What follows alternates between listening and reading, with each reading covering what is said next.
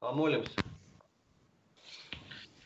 Царю небесный, утешителю души истины, и же везде и вся исполняй сокровище благих, и жизни подателю приди вселися и очистены от всякие скверны, и спаси, Боже, души наша.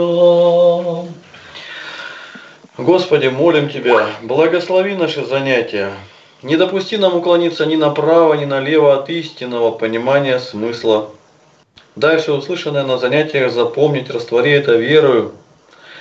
И пошли на нашем пути людей, жаждущих слышать Слово Твое, жаждущих слышать благую весть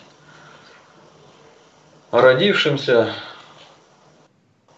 во плоти Иисусе Христе, распятом и воскресшем.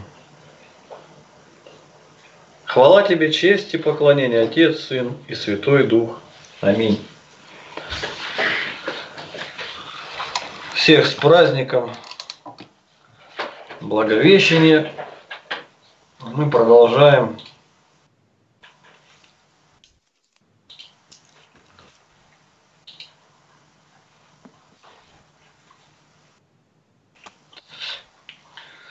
Сегодня 7 апреля 2019 год. Продолжаем разбор пособия по изучению Евангелия от Марка. Глава 7 с 25 по 30 стихи. «Ибо услышала на нем женщина, у которой дочь одержима была нечистым духом, и придя пала к ногам его. А женщина та была язычница, родом фирософиникиянка, и просила его, чтобы изгнал беса из ее дочери. Но Иисус сказал ей, дай прежде насытиться детям, ибо нехорошо взять хлеб у детей и бросить псам. Она же сказала ему в ответ, так, Господи, но и псы под столом едят крохи детей, гос, э, у детей. И сказал ей, за это слово пойди. Бес вышел из твоей дочери. И придя в свой дом, она нашла, что бес вышел, и дочь лежит на постели. Как мало эта темная языческая женщина могла слышать и знать о Христе здесь, на севере. Но и этого было достаточно, чтобы она пришла к Нему и своим доверием пристыдила многих.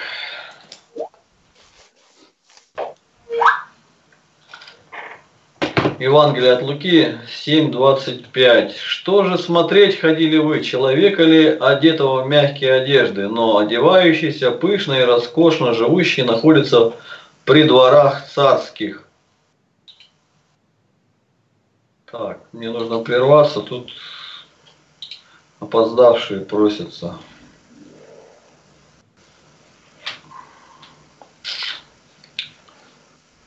Как же это все неудобно.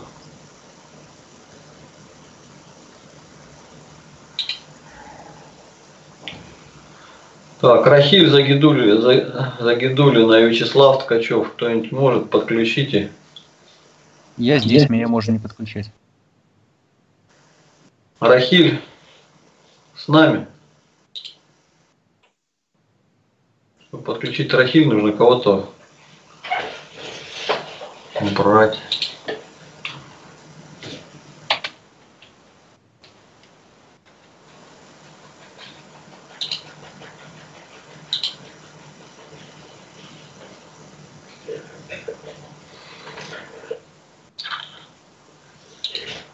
Рахиль добавлено.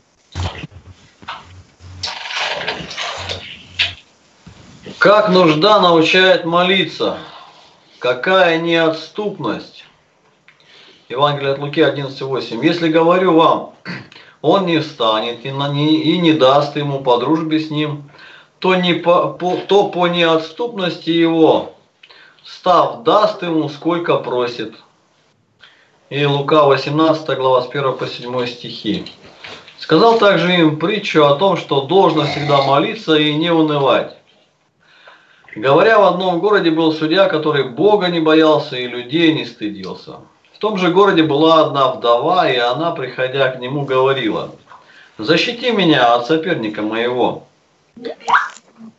Но он долгое время не хотел, а после сказал сам себе, хотя я и Бога не боюсь, и людей не стыжусь, но как эта вдова не дает мне покоя, защищу ее, чтобы она не приходила больше докучать мне. И сказал Господь, слышите, что говорит судья неправедный, Бог ли не защитит избранных своих, вопиющих к нему день и ночь, хотя и медлит защищать их. Так ли мы молимся? Вопрос. Женщина сверх надежды поверила с надеждой. Что же это такое сверх надежды, поверила с надеждой?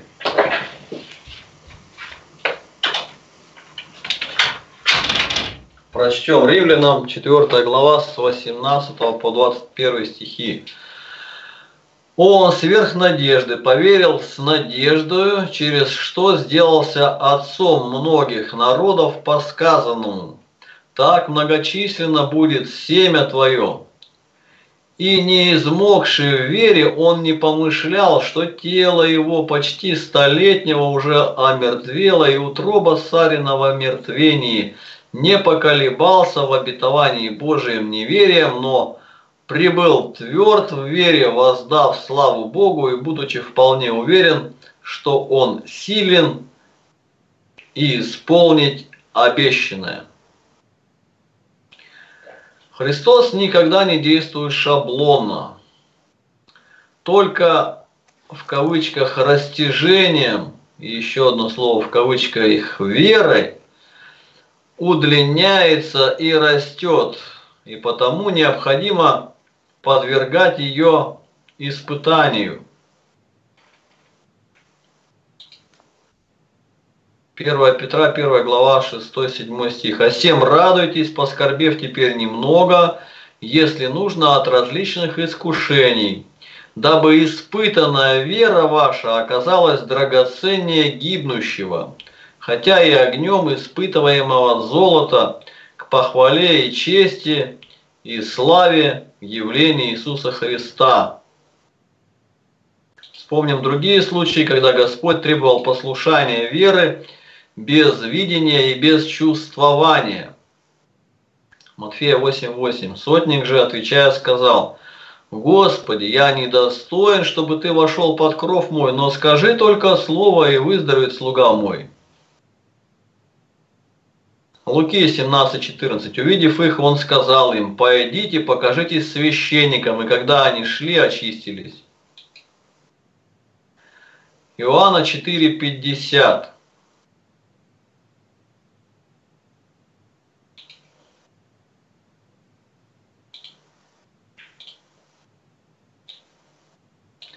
Иисус говорит ему, пойди, сын твой здоров. Он поверил в слово, которое сказал ему Иисус, и пошел. Иоанна 9.7. И сказал ему, пойди умойся в купальне Силам, что значит посланный. Он пошел и умылся, и пришел зрячим. Господь хочет, чтобы мы поверили Ему на слово. Иоанна 20 глава 29 стих. Иисус говорит ему, ты поверил, потому что увидел меня, блаженные не видевшие и уверовавшие. И 2 Коринфянам 5 глава 7 э, стих. Ибо мы ходим верою, а не невидением. Чувства могут прийти потом. Ну, давайте порассуждаем. О чем здесь нам говорится? Говорится о вере этой женщины. Она язычница, она вообще северных народов – О вере, ну еще хотелось бы отметить ее смирение. Нам бы сказали бы кого-нибудь, псом назови, так это же обидно. Вот. Ну, к слову сказать, здесь написано, псы под столом едят крохи у детей. Это было тогда. Сегодня мир перевернулся. Сейчас я, мне батюшка недавно звонил, спрашивал, Сергей, сколько на собаку выделяется денег? Пособие. Я отловом собак занимался 1600. Сейчас открыл детское пособие 50 рублей.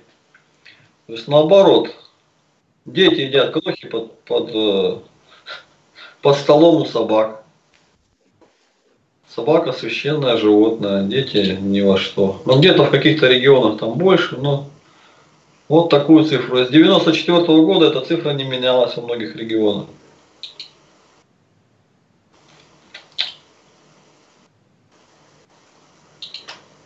Ну что, у кого есть вопросы, замечания по прочитанному рассуждению какие?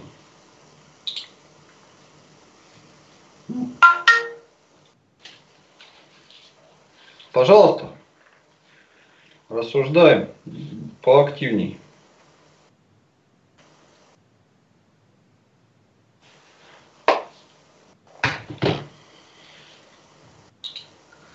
Не забывайте микрофон включить, если кто-то хочет сказать. Игнат Тихонович, желаете? Ну, все молчат сегодня. Праздник. Тоже ничего не хотите сказать, да?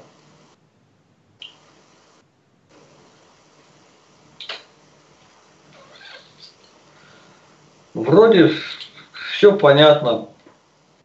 Сергей Павлович, да, все понятно очень, потому что стих, толкование и даже прокомментировать э, нечего. Если был бы какой-то конкретный вопрос, то мы бы уже могли бы что-то здесь, э, какие-то свои предположения делать. А сейчас, ну, действительно, все понятно, поэтому, может быть, к следующему стиху перейдем. Принято. А можно вопрос тому, кому все понятно? Вот там сказано, что в начале вера, э, а чувства потом придут. У вас уже чувства пришли, и вера есть, и вы, то есть вы уже на вторую ступень сразу поднялись, и у вас вопросов нет по этому поводу. Вот у меня лично как раз сейчас такое состояние, что, грубо говоря, я хожу, потому что знаю, что надо. Но чувства уже не ищу, ни на молитве, ни в храме. Просто знаю, что надо, и хожу. Вот. Может быть, на эту тему кто-то скажет.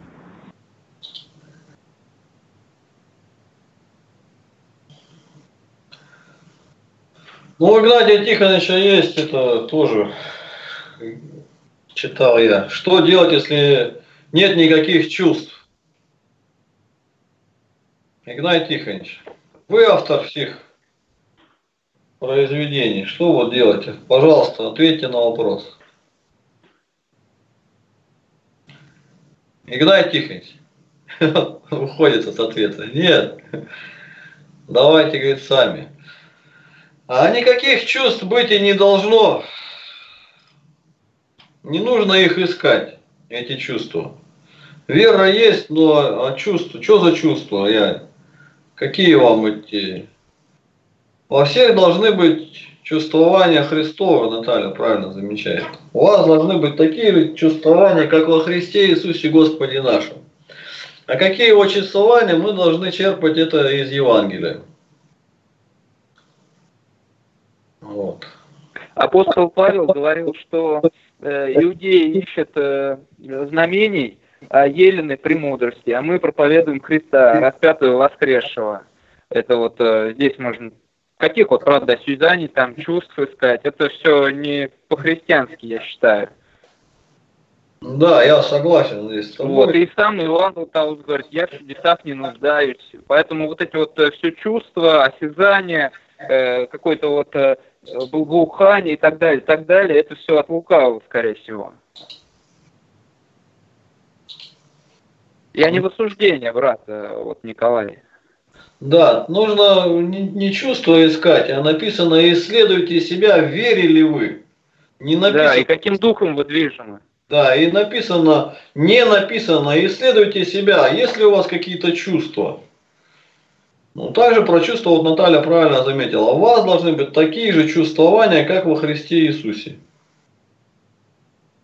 Поэтому вот, а если нету никаких чувствований, ну как, позволь, ну ты сам себя исследуй, есть у тебя вера, вот тут такие же, как, вот что чувствовал Христос, вот э, глядя на эту женщину, язычницу. Есть у тебя такие же чувства к язычникам, к неверующим людям? Есть ли у тебя желание спуститься в эту рулетку и рассказать о своей вере во Христа?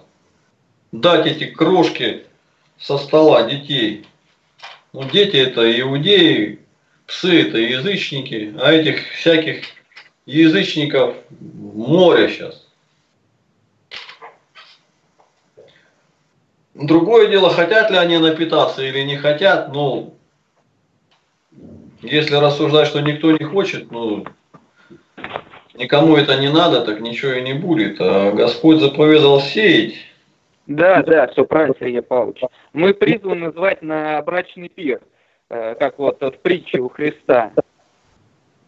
Э, с нас не спросится, а спросится с тех, кто отказались. Вот так вот толкует вся филанка. Да. Ну вот поэтому Поэтому Николай Астахов, ну нет чувств, не зацикливайся на этом. Ну, да, здесь как бы в толковании написано, что сначала вера, а чувства придут потом.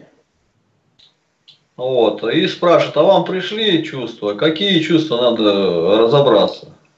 У вас должны быть такие же чувствования, как во Христе Иисусе. С чувствованиями разобрались. Какие чувствования у Христа Иисуса? Читаем Евангелие, черпаем. Что он чувствовал при этом? Он увидел ее веру. Веру в чем? Он в словах увидел. В каких словах? Но и псы под столом едят крохи у детей. Я хочу, пусть да, я, я пес, пусть я язычница, пусть там я, ну да, я хочу. У меня беда, у меня дочь беснуется.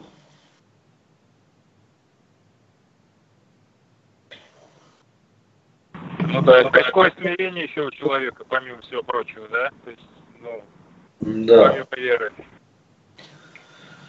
Вот. Ну и я как бы, как дрессировщик собак, тут о псах говорится. Как бы я тоже это место говорю. У нас в России принят закон, где собака сегодня стала легально священным животным. Ее запрещено убивать и употреблять ее мясо и шкуру. Вот. Закон антиправославный, антихристианский. И это говорится, и это наводит на мысль, что в последние времена, судя вот даже по пособиям на собак и на детей, какие миллионы отпускаются на отлов этих собак, на их содержание, я просто сталкивался с этим. Вот. И какая ненависть у этих зоозащитников, псинозащитников, там сказали, их еще псинобесы называют. Они ненавидят детей. У них дети их собаки, они их девочками, мальчиками называют, сыночками. Своих детей, своих детей в утробе поубивали и теперь нянчатся. Да, как правило, это с этим связано. Сергей. Да. А каким собакам дают пособие, которые зарегистрированы, да? которые по городу бегают по помойке. Нет, нет, на каких дают это пособие-то? Которые, я отвечаю, слушай меня, которые бегают по помойке. То есть ее человек отлавливает, привозит в приют, и налогоплательщик платит за ее содержание. Государство выделяет на ее отлов содержание 1600 рублей в Алтайском крае. Ежемесячно? Одноразово. Ну это одноразово. Одноразово. Но ее, эти любители животных, псов, язы, языческая секта разрезает, вырезает яичники или отрезает ятра, если это кабель, и отпускает ее обратно. Потом ловят опять, опять 1600. Государство на это выделяет. И так эта карусель может продолжаться, ну, ну у них как бы две недели, вот это в России. В Европе не так. В Европе поймали, две недели прошло, не нашелся хозяин, усыпили. У нас же нет. Не нашелся хозяин, в естественную среду обитания. Они при этом каждый день в России от укусов покусанных собак умирает один человек. 380 людей в год в России гибнет от этих псинобесов. Это серия, ты хочешь сказать, кастрировать, да, чтобы они не размножались, да, животные, да? Да, это программа ОСВВ называется, которая принята официально, правда, в Москве и в Санкт-Петербурге восстали зоозащитники, которые защищают фауну от бродячих собак, убивают этих собак, док-хантеры так называемые. Вот. Но сайты этих док-хантеров запретили, их э, преследуют по статье 245 жестокое обращение с животными. Убил собаку, они требуют тебе смертная казнь. Это вот нынешние псинобесы, зоозащитники, вот это вот. Вот во главе у них Ермольник, клоун этот, потом э, Макаревич, еврей. Все они производители кормов дешевых. Им выгодно, чтобы собак не убивали. Корень стерилизации любили. Вот, к слову, о псах. Так, параллельно. Но у нас на Украине нету этого. Но у вас на Украине есть такой докхантер Светогор, я не знаю, фейк это или нет, ты его недавно видел фотографию с пробитой головой. И, и посмотрел отзывы. Наконец-то эту мразь, да что же его не добили, да я бы ему ноги переломал, да я бы, я бы, я бы, я бы, да я за собаку, понимаешь. Вот так. А он единственный, может быть, который открыт, остальные все в масках боятся за своих детей тайно их травят и отстреливают по ночам, потому что тоже у них 200, это статья там другая есть на Украине. Да, ну, да, у меня было раз, да, иду, ну, это зимой из церкви, да, это вечер уже там, э, полвосьмого, и попадаю, ну, я ж, ну, ты же знаешь, я слепой, да, и захожу, понимаешь, я попал не туда, не на по улице, а попал на склад. И оба собаки, и понимаю, что я попал в капкан иду, а у них вот это, это же оптовый этот, ну они же там же живут, да, и они их так, так полукругом там, поначалу слабые, слабые, слабые, слабые, а в конец же самый сильный. И я понимаю, опа, ну уже все. Но они же потом уже оживают, начинают, а, а, а, и все поднимаются. Ну и там, ой-ой, человек, ой, говорю, человек, собак 50 было. Ну, я начал просить, то заднюю, заднюю, заднюю, и ушел. Давай не будем о собаках, вернемся к Евангелию. Братья, давайте, а, давайте. Братья, давай. давайте не кастрировать занятия, а то у нас кастрированное занятие получится. Уже так активно мирские эти темы обсуждаем, прям невозможно. Да-да-да, простите, простите, братья и сестры, простите. Вот. Ну и вот вера этой женщины сравнивается с верой Авраама. То есть, ну как же так вот, ну старику и сказать, у тебя будет детей, у Сары уже утроба в омертвении. Однако Авраам поверил. Поверил. И еще здесь говорится о, о неотступности. То есть, э, так ли мы молимся? С такой ли мы верой молимся? Вот. Часто молитва бывает шаблонная. То есть человек ходит в храм и веры не прилагает к своей молитве, как бы, ну, отстоял службу, говорит, отстоял. Какой зашел, такой вышел, если не хуже даже. Там, еще, может, стоял там мыслями, блуждал, да кого-нибудь осуждал. Конечно, такая молитва не угодно Богу и начинается умствование, вот у меня нет никаких чувств. А надо не с чувств начинать, а с веры. А если у меня вера в то, что вот Господь силен исполнить мои прошения, а того ли я прошу, и почему Господь не отвечает. Вот Игнатий Тихонович говорит, нет ни одной молитвы, на которой бы Бог мне не ответил. То есть все, все желания исполняет. Все, все желания мои исполняет. Да как так, не верю. Но если не исполняет, значит я верю, что мне сейчас не полезно, чтобы это желание мое исполнилось. Бог-то лучше знает мое сердце. Вернее, что мне полезно, а что мне нет. Все мне позволительно, но не все полезно, апостол говорит. И Бог знает. Не надо никогда просить плотского, там, богатства там, или у нас как какой праздник, и все мирские, что они главное желают?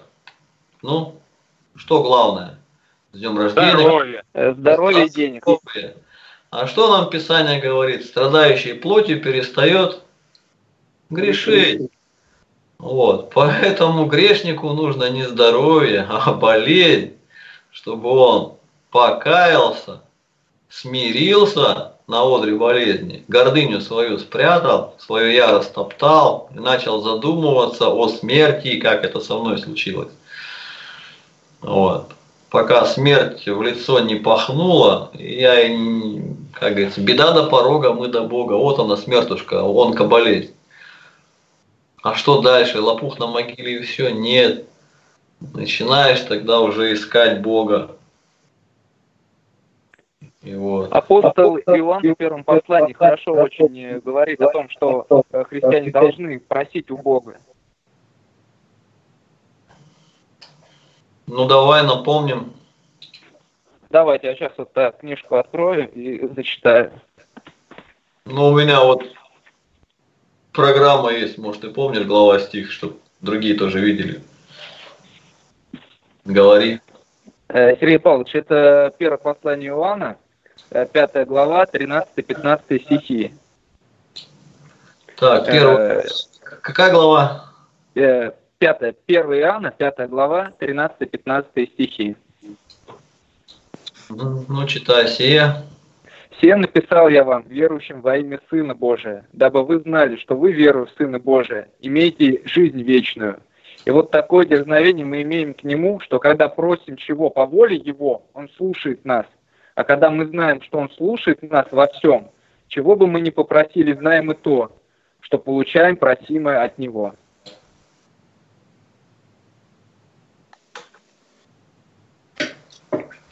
То есть нужно э, здесь акцент ставить «имеете жизнь вечную». Если мы хотим жить вечно, то мы и просим для жизни вечной необходимое. Да, конечно. Тут смысл в том, то, что... Бога, богатство, оно... Нужно ли просить богатство, если мы знаем, что трудно богатому войти в Царство Небесное?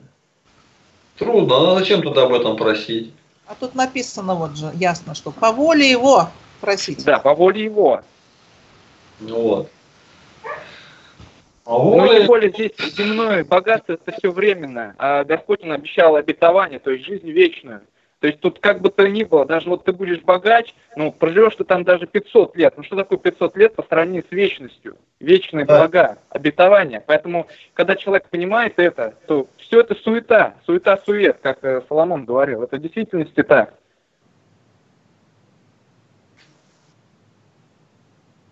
Вот. Значит, да.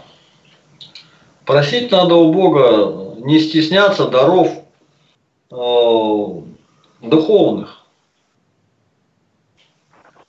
Вот я по себе скажу, я не, не скрываю, я просил мудрости. Есть даже такая, как бы в виде байки. Вот предложили бы тебе мешок золота и мешок ума. Что бы ты взял? Ну, все, он говорит, конечно, ума, ну не, не скажешь золото. А ему как бы в шутку отвечает, каждый просит то, чего ему не хватает, то есть подколка такая, подковырка, то есть дурачок, ну вот поэтому мать просил, а я бы, а я умный, я бы золото попросил, у меня ум свой есть, то есть такое вот самомнение. Это мирское у них понятие просто. Ну да, да. Поэтому ума не нужно стесняться просить, написано, блаженные нищие духом, то есть э, которые ощущают себя слабоумными, ну, соглашаются с этим, тогда Бог даст. А которого самомнение, что да что ты меня учишь, да я самый умный, да кто ты такой. Ну ничего, отдастся, до, отдастся до, отнимется даже то, что думает иметь этот человек. Вот. Игнат Тихонович говорит, чем больше я читаю Библию, тем больше я ощущаю свое ну, так скажем, что я так мало знаю. Казалось бы, наоборот, чем больше человек познает, тем больше знает. Нет, а вот Библия, она такая особенность у нее есть. Чем ближе мы к Богу, тем сильнее ощущаем свое недостоинство. А гордец, он очень далеко от Бога. Ему Бог не нужен. Ему помощь не нужна, он сам. У нас сегодня был в общине случай. Сестра одна потеряла веру совершенно и пришла и попрощалась. Ну, единственное за всю историю общины по-хорошему. Она поблагодарила. Вот. И вот минут 10 она что-то колобродила, кораблодила, я уже устал ее слушать. Я говорю, конкретно говорю, ты веришь, что бес есть? Она говорит, нет, беса нет. Все, веры нет. Самая большая победа дьявола доказать, что беса нет. А все началось с самомнения. А я, а я, а я, а я думала, я размышляла, а я, я, я, я, я. А зачем тебе было думать и размышлять, Игнатий Тихонович говорит, когда все уже обдумано святыми отцами, размысленно, истолковано, тебе осталось только принять верою. А не Она вер... там же, Сергей Павлович? У нее неверие. Я говорю, кто тебе вселил это сомнение? Я сама. Я сама поняла, что святые отцы не правы. Ну, понятно. Вот и все, вот и я сама. То есть, а Писание говорит, отвергни себя, возьми крест свой, то есть приготовься, что тебя будут дурачком называть, сумасшедшим. Куда ты пошел за каким-то распятым, да ты чё? Зачем тебе? Да ты живи и радуйся, наслаждайся, один раз живем. Сатана говорит. Если человек не верит, что это сатана, он, он говорит, о, да это я сам до него додумался, они дураки, там ходят, молятся, что-то выпрашивают у Бога. А чем мне его выпрашивать? У меня все есть. Она говорит, за что мне его благодарить? Он мне все дал. Вот если бы я просил, а я никогда ничего не прошу. Это сатана прямо из него говорит. У меня все есть. Зачем мне просить унижаться? Ну, она так не говорит, а я уж как бы продолжаю развивать эту мысль. Вот. И многие потерпели кораблекрушение в вере. Сказать, что она была неверующая, нет, она в 12 лет приняла крещение самостоятельно. А потом замкнулась, и вот поэтому наступила депрессия, уныние. Вот ролик скоро выйдет, поэтому советую смотреть Елена Сокольских. Сергей Павлович, в 13 лет она приняла крещение. 13.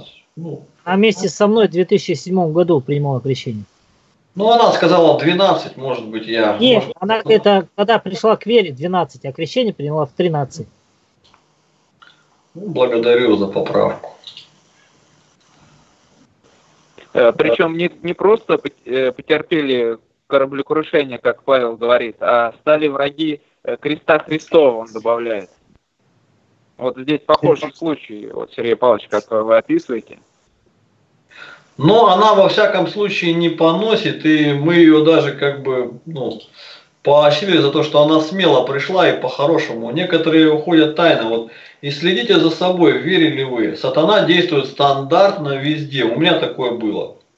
Сначала ропот. Первая ступень. Это недовольство. То есть человек недоволен, впал в уныние, ему ничего не нравится, у него депрессия. Ему никто не нужен, он сам себе полный. Вот. Ропот. Потом он начинает таиться. Ну, сразу же за недовольством он не хочет ни с кого видеть. А Святое Писание нам говорит. А потом бегство. Вот это вот схема, по которой, если вы вот заметили за собой, вот я все время чем-то недоволен, все-то вот великое счастье быть всем довольным. И великое несчастье быть недовольным всем тоже. Вот, поэтому, ну вот, и, а Христос говорит, если же ходим во свете, подобно как Он во свете, 1 Иоанна, по 7 глава, то имеем общение друг с другом. И тогда кровь Иисуса Христа очищает нас от всякого греха. То есть она себя от этого общения отделила, затаилась.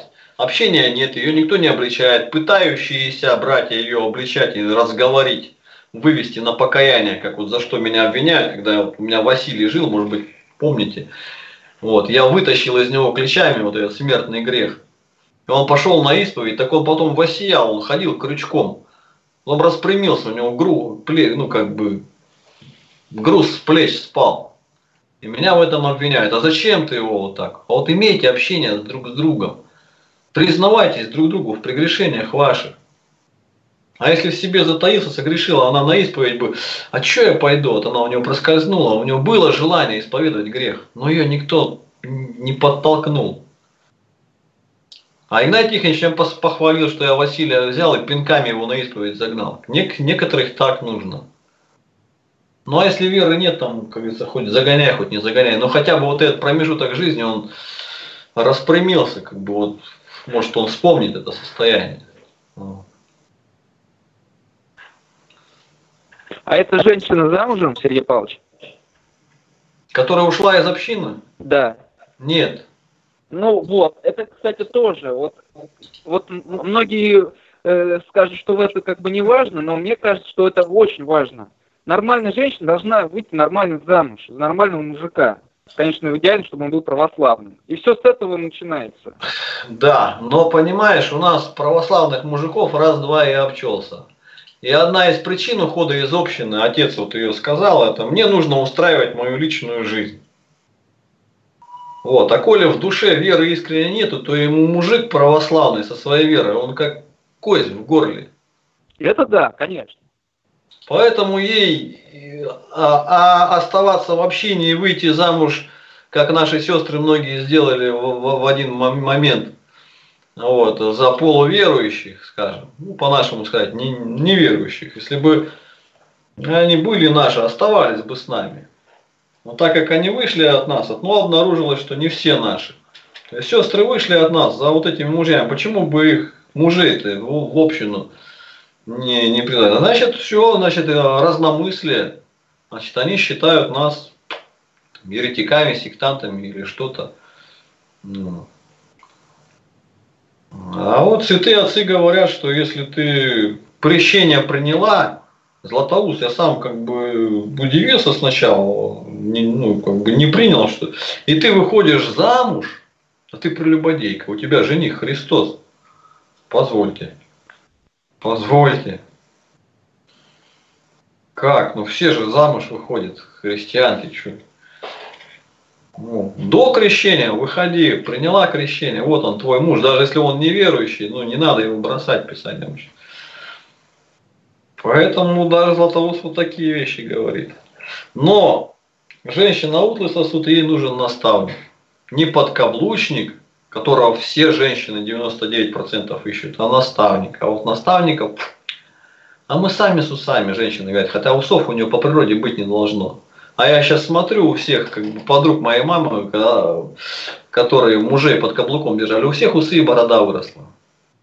Я говорю, любили командовать мужиками. Мужики уже в могиле у обоих. А у них усы и борода выросли у женщин. Вот так вот. Поэтому у нас, к сожалению, вот безбожная власть дает свои плоды, где муж и жена равны. Вот, придумали это, это пошло небольшое отступление, конечно, мы сегодня делаем. Но это тоже, я думаю, интересно. Потому что о вере здесь мы говоримся, что вот эта женщина с верой, она не язычница, уверовала. Вот. И он, Христос, напитал пса, а детей оставил от этих иудеев и принял вот эту вот новую церковь как бы образовал из язычников, а эти иудеи, они остались при своем мнении, самомнении. А псы вот эти вот, язычники, они вперед вас войдут в Царствие Божие, мытари и блудники. Вперед вас, кого он имеет в виду? Иудеев, которые Христа не приняли. Вот так.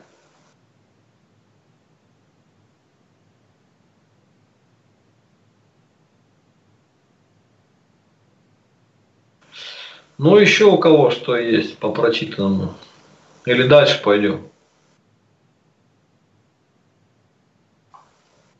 Давайте дальше, скорее всего. Ну да, чувства могут прийти потом. То есть, ну,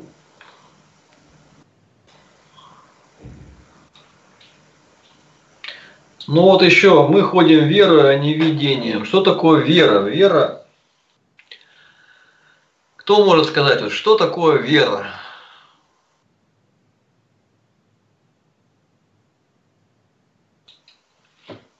Надо тоже, думаю, на этом акцент. э,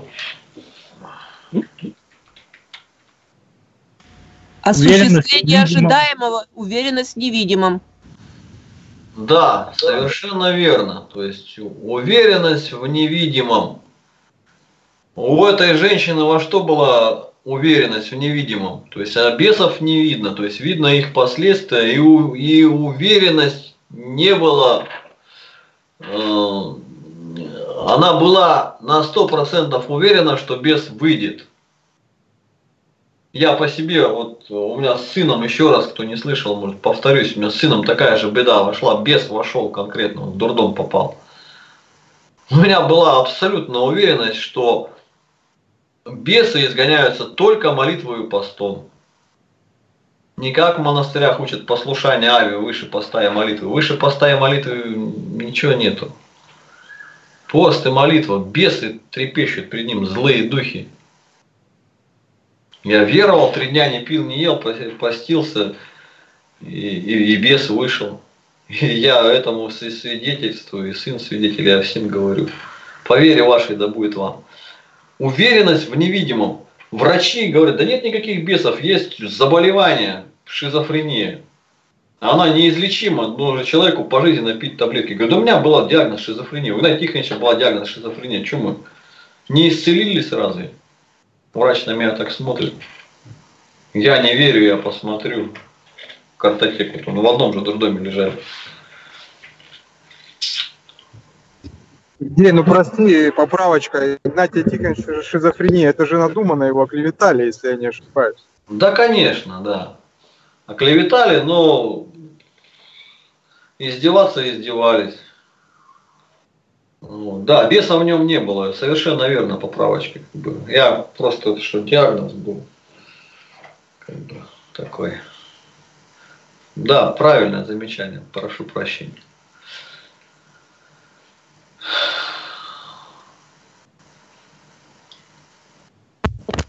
Это Сергей, а ты это с врачами разговаривал? У тебя же и борода же была, ж, да? Да, да. Ну и, ну, конечно, они же тебя не принимали как нормального человека. Ну да, да. Так самое интересное то, что жена-то у меня неверующая, а мы разведены, так она сына все равно лечила таблетками. Я и с ней разговаривал, ты веришь, что вот по моей молитве бес вышел? Она говорит, я, я склонял на то, что беснование таблетками не лечится. Я говорю, перестаньте их пить. А она верила в таблетки. Ну и в то, что я молился тоже. Она говорит, ну и то, и это. Ну и как ты ее? Вот. И долго они пили эти таблетки, может и сейчас пьют, я, я не знаю. Одна таблетка 50 тысяч на месяц. А как вы увидели, что вышел из него? А ну, врачи засвидетельствовали.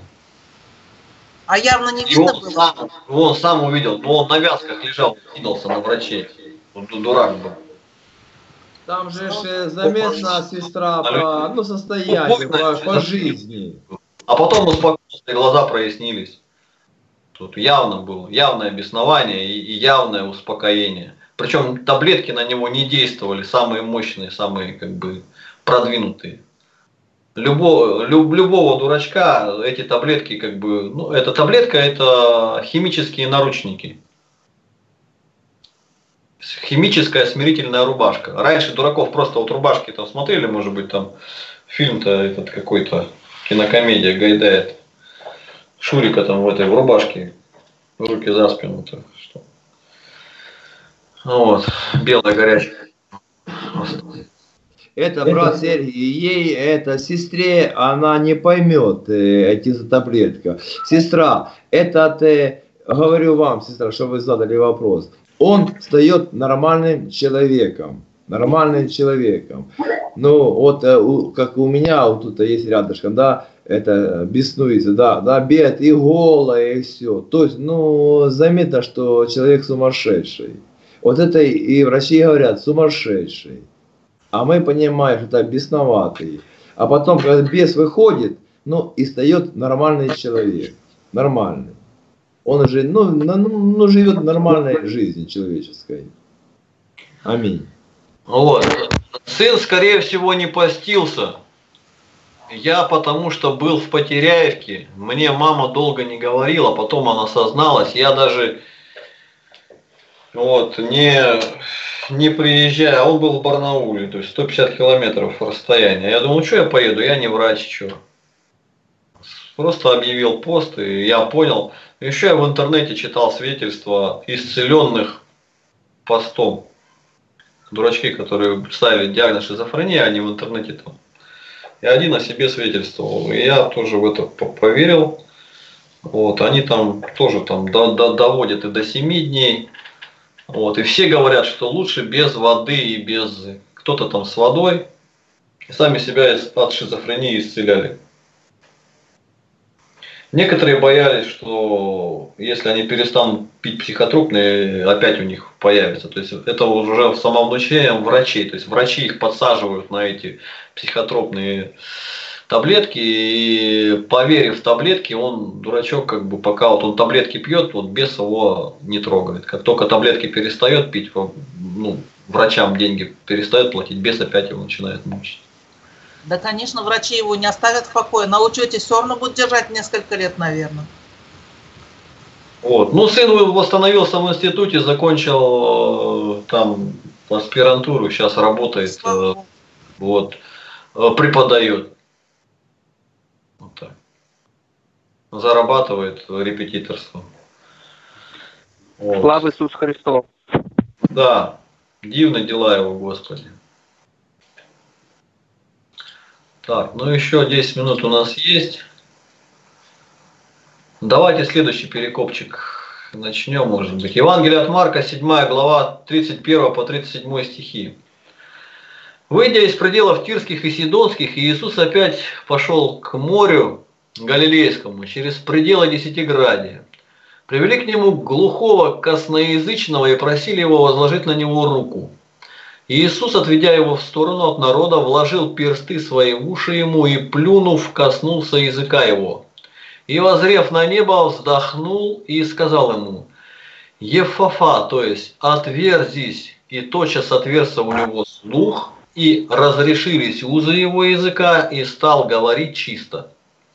И повелел им не сказывать никому, но сколько он не запрещал им, они еще более разглашали – и чрезвычайно дивились и говорили, все хорошо делает, и глухих делает слышащими, и немых говорящими.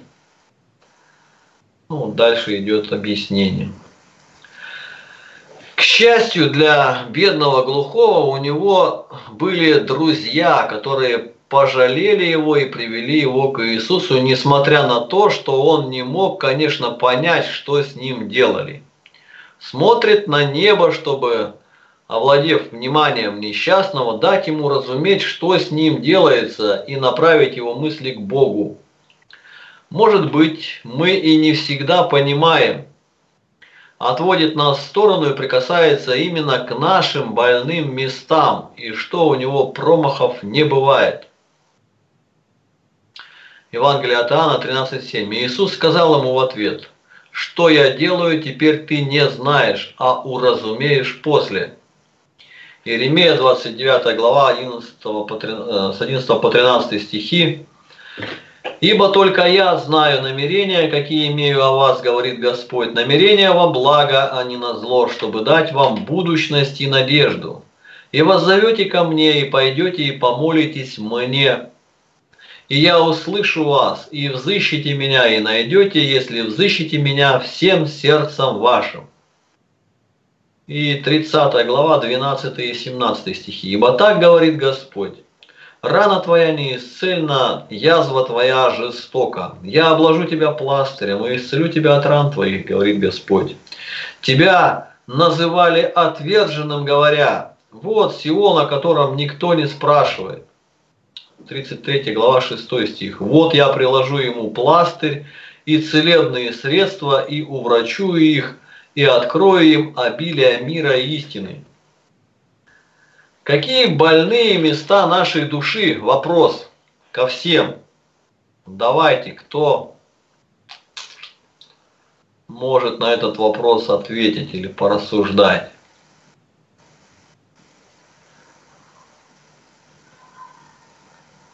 Да у каждого свои, мне кажется. У каждого свои. Но вот в контексте какую душу Христос исцелил вот здесь, что у него были, беда какая, Глухой и косноязычный, то есть не, не слышал Слово Божие, не понимал и другим ничего не мог тоже сказать. Аминь. Вот. Но здесь это не говорит, но в другом месте говорится без немой и глухой. А здесь просто глухой косноязычный, ну, по-нашему сказать, глухонемой. Вот. Но тут не написано как бы немой. Ну, косноязычный это, наверное, что он там, картавил или заикался, непонятно что там. Когда-то и я такая была. Да ты чё? И как ты, а в чем выражалась? Да-да-да, оно ну как э, стали нормально говорить? Скажите, пожалуйста. Не понимала, что написано в Библии. И, и, не- и не- сл- слышать не слышала. Брат-то благовествовал, брат-то пришел первый у нас в семье. А, то есть у тебя глухота духовная была, не физическая? Конечно, конечно. Да, мы подумали сразу, что этот, э, ну, физическая была. Духовное у всех начинающих. Ну тут, наверное, тоже о духовной глухоте идет речь. Я о кос- косноязычестве в плане духовном. Да нет, здесь, скорее всего, телесное. Привели к нему глухого и просили его возложить на него руку. Понимаешь, ну, если бы у него духовное было, ну что ж они, они бы так бы сказали ему, «Г- Господь, мы ему говорим слова духовные, он ничего не понимает. Да ученики-то и еще сами-то не понимали тогда еще половины ничего. Все время упрекал их за неверие. И Ну да. вот, поэтому здесь именно глухота, и видишь, он персты свои в уши ему. Если у него духовная глухота, то зачем? Духовная глухота, уши ни при чем здесь. Тут, тут сердце окамененное. Надо было к сердцу тогда прилагать. Вот. Сердце у вас окаменено, и ушами не слышите. А при чем тут сердце и уши, если как бы, понимаешь? Сердце это препона духовному разумению слов Божьих. Уши есть, он говорит, вы имеете уши и не слышите, он не говорит, что вы глухие, они слышат все прекрасно, но когда дело касается духовного, не могут вместить себя, потому что, говорит, вы не слышите, потому что не можете, потому что дела ваши злы. Им противно. Сегодня случай был на Благовестии. Сидит мужчина на остановке, ну и Евангелие раздаю, и я подаю Евангелие. Бесплатно? О, да, бесплатно. Ну, он взял и в сумку положил. Ну, я дальше пошел, прошло, прошло где-то минут 20, я сам смотрю, женщина сидит, читает рядом с тем мужчиной, у которого сумка. А Ольга-то мне, Си- Симоненко-то и говорит, а тот мужчина, говорит, когда я женщине давала, она уже после меня пошла, он ей сказал, бери бесплатно, на растопку пойдет. Я, как? На растопку. Я говорю, Володя, бери камеру, пошли. Подхожу к этому мужчине, которому я дал, и который говорил этой женщине, бери на растопку, а женщина-то сидит, читает. Перед тем, как бросить в печку-то, может быть. Я подошел и молча смотрю на него. И он не дал мне ничего сказать, достает из сумки Евангелия и как бы в меня тычет этим Евангелием, забери свое Евангелие. Я ничего не говорил. Он почувствовал, что вот, э, и я ему говорю, а зачем вы женщине сказали, бери, и чтобы бросить в печку? И тут вся остановка как взбесилась, кроме той женщины, которая читает. И начали меня гнать. Я, я почувствовал, что легион бесов просто вот ополчилась. И женщина одна там крашеная сидит. Вон церковь, иди там проповедуй. Я говорю, да не здоровый имеют э, нужду во враче, но больные. Че ты нам тут ходишь, проповедуешь? Не надо нам ничего. Ну как, что ты пришел раньше времени мучить нас, а та женщина сидит читает. То есть вся остановка как бы не приняла, и сегодня он предлагаю просто нет, нет, нет, головой крутит в разные стороны, что нет, нет, не надо, не надо. Некоторые скажут, у нас уже есть. Вот. Мальчик сегодня там лет 11 торгует вербочками, а ты, говорю, знаешь, что за праздник сегодня? Вербное воскресенье, ой, нет, нет, вер, вербное будет через неделю. Сегодня, сегодня, сегодня, что же за праздник-то, что же, что же, он даже не знает. Я говорю, а тебе вот интересно, ты вот продаешь вербочки, ты хоть людям бы говорил. Ну и минут за пять ему объяснил про вербном воскресенье и о благовещении. Так вы знаете, он мне продает, подает веточку, говорит, возьмите бесплатно, денег не надо. Мне так приятно, я его по голове погладил, говорю, мне не нужно, возьми, говорю, я, у меня есть. А он говорит, а можно, говорит, мне три Евангелия, я буду, говорит, вот раз, раздавать, продавать вербочки и, и Евангелия тоже предлагать. Я говорю, только деньги не бери за Евангелие. Он говорит, хорошо. Вот такая история сегодня приключилась. Жаль, что Володя эту историю не заснял на видео. Вот, ну сейчас запись идет, мы что-то послушает и последует примеру. Слава Богу, Сергей. Твоя слава. Вот, а сегодня говорить, а, все прекрасно знают, сегодня какое число? 7 апреля. А Рождество когда? Все знают, 7 января. А сколько, говорю, с апреля, но я с мальчиком разговариваю, по январь, он говорит, три месяца. Я говорю, да нет, с апреля по январь. Ну, посчитали вместе с ним 9. Я говорю, сколько женщин месяцев входит беременна? Он говорит, 9. Я говорю, так что сегодня произошло? Он сам говорит, зачатие. Он до 11 лет уже понимает все, что. Вот так вот. Зачался, говорю, сегодня Иисус Христос. Благая весть, ангел сказал, все дева, примешь и родишь сына, и нарекут его имя Иисус. Что значит Иммануил, люди нарекут, что значит сам, с нами Бог. Вот так. Иисус значит Спаситель, а Иммануил значит Бог. Но мы нигде не видим, что его Иммануил, Иммануил. Просто люди сами про него говорили, с нами Бог. Одни верили, что с нами Бог, а другие не верили. Первый уверовал Петр. Ты Бог мой и Господь мой, сказал. И на семь камни, на камне веры Господь говорит, я создам церковь мою. И врата да не одолеют ее.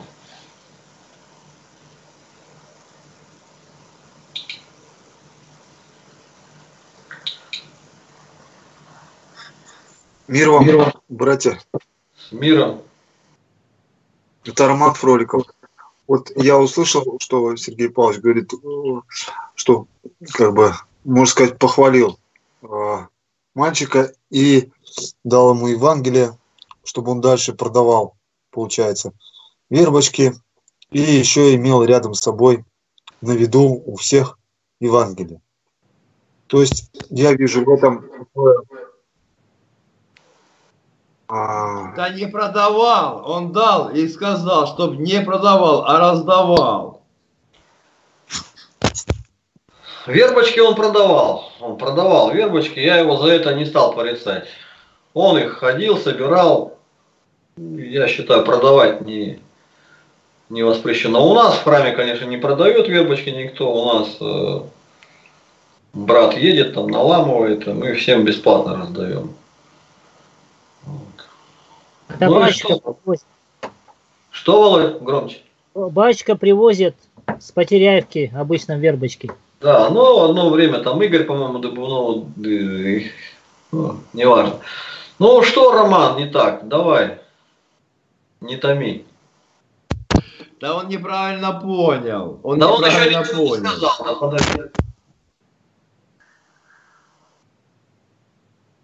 Да, я еще ничего не сказал, а меня уже неправильно поняли. Роман говорит, я отвечаю за свои слова, а не то, как вы их неправильно поняли. А мы еще и сказать ему ничего не дали. Говори, Ромочка, говори. Да-да. То есть получается, что вот этот э, мальчик, он, э, во-первых, неправильный день продавал, ну, то есть вообще сам не понимал, да?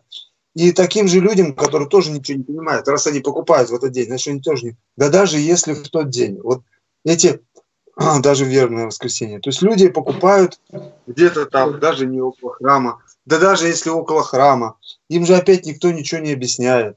Вот они купили, для них это как амулет какой-то, или не знаю, что-то, ну, традиция там, не традиция. Ну, в общем, бестолковое это э, действие для них. Как бы с духовной точки зрения, наоборот, даже еще, может, уводит. Они успокаиваются, думают, вот мы все, еще и больше сделали, даже не только помолились, не только свечку поставили, еще и еще какую-то вербочку еще купили. Ну, вообще мы там все, значит, все хорошо у нас будет. Роман. А тут еще а тут я у него еще и не Подожди, дальше досказать-то ему что. То есть а ты считаешь, что я поступил неправильно, и нужно было мальчику эти три Евангелия не давать и прогнать его, чтобы он вообще не торговал эти вербочки? Прогонять-то зачем? Не надо прогонять, потому что он же не в храме. А просто объяснить, что ты сам не понимаешь, и ты продаешь, вот как я и говорил, таким же людям, которые ничего не понимают. И получается бессмысленное просто действие. Ну, но это бессмысленное действие. Мальчик мальчик пожертвовал вербочкой, понимаешь? После того, как я благовествовал, мне пожертвовал из своего кармана. Я не про вас, я говорю про дальше, про то, что вы ему оставили Евангелие. У него он остался продавать, и у него эти Евангелия лежат, и люди видят эти Евангелия. То есть у них уже складывается впечатление, а, мальчик какой-то такой, значит, Евангелие, церковный, значит, он там все знает, значит, все он правильно делает, а если он, значит, не говорит, как у нас рассуждают, Раз священник не говорит, а значит... Что, а что ты взял, что он будет молчать? Он уже понял, что эти два, два праздника. А почему-то, ну вот, э, Христос исцелил бесновато. Он говорит, а можно я с тобой пойду? Он говорит, нет, иди в селение, расскажи, что сотворил тебе Господь. Он ничего ему не объяснял, он бесноватый был, дурачок. Вообще ничего ему не объяснял. Исцелил его и ушел. Также я этому дал ему Евангелие, объяснил два эти праздника и ушел. Что я не так сделал? А люди будут думать, а люди, ты что за людей думать-то? Они получили слово в вербочку и слово Божие. Я посеял, зайдет, не зайдет, не тебе решать. И не мне. Я хочу, чтобы зашло, я дал Евангелие. Ты не хочешь, чтобы зашло, не дал. Нет, я вот дал... Я говорю про то, что если ему одному дать, да, другое дело. А то, что если он действительно он потом говорил, это другое дело. Я не знаю этого. Может, вы знаете. Ну, не знаешь. Рассказывал. Вот. Но я не говорю, я просто говорю вообще в общем, когда вот я знаю, тоже вижу таких вот людей. То есть, вот, вот так. Если они потом, конечно, будут они рассказывать, это другое дело. А когда Господь тоже запрещал им говорить, даже этим бесам, которые э, благовествовали, казалось бы, говорили вот так. А он запретил. Ну, это были я бесы, а это какой же бес, если мальчик у меня сам просит, дайте мне, я людям раздам. Ну, что тут, я что должен ему? Сказать, ты, ты бесноватый, куда ты морду свою нечистую стоишь? Сергей, а ну помолчи, пожалуйста. Он хочет... Вот у меня Роман, тоже Роман, а ну помолчи, понял. Я понял, что ты хочешь сказать. Но это не в наших силах делать это. То есть э, он хочет сказать, чтобы не продавали вот эти церквей. Но это не в наших силах. Это надо прийти, всех забрать, выгнать и запретить. То есть применять силу. Нет, я вообще не про это сейчас говорил. Вообще не про это. Ну, ну как? Ну ты же говоришь, как же, вот Сергей сделал все правильно. Он дал ему, говорит, этот, и все. Иван или отдал, и говорит, только Ивану не продавай. А кто захочет, отдай. Все. Все нормально. Он делает все нормально. А ты говоришь, а что ты говоришь? Почему он не запретил ему, эти мальчику продавать? Как он ему запретит? Ну вот как он ему запретит? Или всем запретит? Как? Это невозможно. Я вообще не говорил про запрет. Вообще про запрет не говорил. Ничего. Что ты взял? Но я тогда вообще не пойму, о чем ты вообще говоришь. Но Рома переживает, что в семье, когда торгуют вербами и рядом бесплатное Евангелие, кого-то может соблазнить. И он подумает, что это так и правильно. Торговля, ну не в храме была торговля, поэтому действительно, что мне ее запрещать? Торгует он вербочками, но лучше, чтобы он торговал с разумением, чем без разумения. Я дам ему это разумение. Он, он счастлив, довольно остался. Ну так я же и сказал, это надо силу применить, чтобы мне не торговали. Ему Надо что он торговал без знаний, а теперь ему хорошо. Чего вы пристали к этой силе, я ничего не понимаю. Ты сам первый начал. Да я вообще просил, вообще ничего не говорил. Сергей, давайте дальше, может быть, время теряем. А вопросы давайте. Вот сейчас вопросы. Вот Рома вопрос задал, мы пытаемся ему ответить. Так я еще и даже ему не задал вопрос-то, по сути-то. Задавай. Вот Игнат Тихон сейчас рассудит, кто прав, кто не прав. Всем по шее надает. Чтоб чужие паялись. Задавай. Ну, то есть получается, что вот когда продают этими вербочки, люди, те, которые не по- покупают, они ничего не приобретают. Они наоборот думают, что они вот успокоились, все хорошо у них теперь будет. Вот. Они как не знали, так и не знают. Ладно, мальчик знает, но если он не рассказывает этим людям, они тоже опять ничего не знают. Он Вопрос. успокоил. Вопрос-то в чем? Вот в этом Немощных вопрос, что люди принимайте как немощных. Он Ну, опять, там- вот опять, я, я, мне задают вопрос, за меня отвечают, получается. Вот сейчас вы задали вопросы, за меня сейчас отвечаете. Вот, а вообще, кому задан вопрос это за мальчика? Кому он вообще задан вопрос этот? да не только за мать, вообще, это вообще такое происходит, везде такое. Да вопроса-то нет Ну, мы никакого. знаем, что это происходит, знаем, что это не, неправильно. Лучше с разумением, чтобы... Лучше, чтобы вообще, конечно, не продавали эти вербочки, а благовествовали Евангелие. Вместо вербочек стоял бы мальчик, да Евангелие раздавал. Это в идеале было бы лучше, конечно. Да, у нас на этом делают деньги. И хорошие деньги. На, не- На невежестве людей, конечно.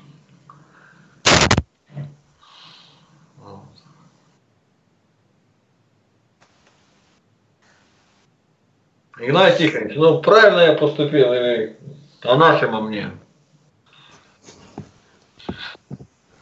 Давайте вопросы, которые касаются души. А это через год сожгут, сожгут и ничего не будет. А мы тут температуру поднимали. Да, копию ломаем на этих вербах. Проходи мимо, и ничего не видел. Правильно, Тихонович, все. В серии поступил правильно. Мальчик э, делал, ну, продавал вербу, а он дал ему Евангелию и сказал, не продавай, отдал. То есть сделал благовесть православия. Он сделал благовесть. Он все сделал правильно. Да не про это вообще вопрос-то был. Следующие вопросы у кого есть? Ром, хватит, ты уже время, лимит вышел. Еще есть вопросы у других? У меня мирской вопрос абсолютно. Березовый сок собрал, что с ним делаете? Пить. Э, Раздай нищим. Нам пришли. собрал, кого собрал, не услышал. Что собрал? Сок, Заморозь его, заморозь. Пей. Сам. Полторашку. Батюшка заморозит и, и всю зиму пьет его. Можно добавить туда, что там, Игнать Тихонович. Да ничего не добавляет, он кислый, потом в погребе вкусно пьем. Лучше заморозить. Я так считаю. Еще вопросы? Желательно духовные. Ну вот как пройти мимо, если люди погибают? Кровь их на тебе. Задумайся, деяние почитай. На тебе кровь, не сказал, все. Не проходи мимо. В каком смысле погибают? Вот и это, в каком смысле погибают? Идут в ад, Бога не знают, грешат. Разъясните, что значит погибает, как погибает. Вопрос-то непонятен. Ну, как, э, так же, как Иоанн Златоуст говорит, раз не читают, не знают, ну да, даже не читают, ладно, им никто не рассказал, не знают, значит, грешат. Вот не грешат, значит, погибают. А говорят, вот сейчас только что, ну и грешат они, продают эти верочки, покупают, не знают ничего, и погибают, и ладно, мимо них пройди, и все. Не, не, не, ты говори пример. Вот ты идешь и видишь, слышь, то есть пример, говори. Говори, что произошло, то есть пример, чтобы было аж понятно. Пример. из жизни. Что было с тобой? Ну, может быть, Игнат Тихонович имел в виду, что не в твоих силах изгнать всех э, торгующих вербочками. Ну, и, ну не, не, невозможно это сделать. Из храма торгующих невозможно изгнать. Ну, можно написать там патриарху, там это, ну, надо же реально смотреть. А что по, по каждому по силе, одному бодливой корове Бог рога не дает. Вот у меня тоже был случай, что так, так же, у меня попросили Евангелие для раздачи. Но я не дал. Денег заработал, говорит, на. Не дал. Почему Вот. не дал? Они Я не дал, потому побоялся, что они тебя обманут, что сожгут. Нет. Потому что я просто там кто-то что-то говорил, поэтому я перестал говорить. Вот. Потому что этот человек был как раз вот такой неутвержденный. Да, я ему рассказал благовую весть, но я не знал, будет он говорить, или не будет говорить, или будет что-то свое говорить. Вот я ему не дал. Я ему дал только одну книгу для него лично, чтобы он еще больше утвердился. А вот когда утвердится, уже тогда э, скажет, я буду рассказывать, да, действительно, я его... Что ты будешь, я проэкзаменую, что ты будешь рассказывать, как ты будешь рассказывать? Тогда только ему... Ну, ты рассуждаешь как это самое. Не знаю. Иногда приходится так. Видишь, что-то делают люди, и как бы не так. А ты подумай, вот если бы я не проходил мимо, у них как сложилось бы дело? Без меня обошлись? Пока я не отвечал, вы одинаково оба ко мне относитесь, и я вас не знаю. Но если двое спорят, и вопрос маловажен, я знаю точно ответ и сделал. Вы высказал его, то одновременно с этим я сразу приобретаю врага одного из них. А, а быть за двоих одинаково я не могу. И поэтому лучше промолчать, осталось в прежнем виде. Для неспасенного это на спасение не влияет. Вот подходят Господу нашему Иисусу Христу, два говорят, и вот у нас отец умер, и разделить имение не можем. Ну, это решают мировые судьи сегодня. Да Гос- Господь бы сейчас говорит, чужую эту беду руками разведу. А Господь сказал, кто меня ставил делить имение? И никто не мог ответить, а кто Христа ставил делить имение? Кто ставил тебя с чужими вербочками распоряжаться, за которыми надо было ехать, платить деньги за дорогу, найти где, нарезать. И это что ветви на дороге Христу постилали, это было вредно, не вредно, выражало торжество. И вот у нас не нет расцветших пальмовых ветв, а есть вербочка, она рано расцветает. И человек достал их. Тот, который купил, доволен, осветил, положил. Они напоминают ему об этом празднике в ходе Господня в Иерусалим. Здесь греха нигде нету. И поэтому мальчик этот сделал все правильное, и ты прошел мимо, поздоровался, и только мог бы спросить, а Евангелие у тебя есть? Если нет, то подарить, сказать, ты смотри, какой ты трудолюбивый. Если мимо тебя пойдет бабушка, у которой совсем ничего нет, и будет просить, ты дай ей. Я считаю, вот так бы нужно было сделать. Никакого тут греха нигде нету, но доброта была рядом, и ей надо было воспользоваться. Вот и все. Так мальчик же сам попросил, три Евангелия взял он у Сергея, и Сергей Всё, наказал, чтобы не продавал. Вопрос закрытый. Переходим дальше. Что еще?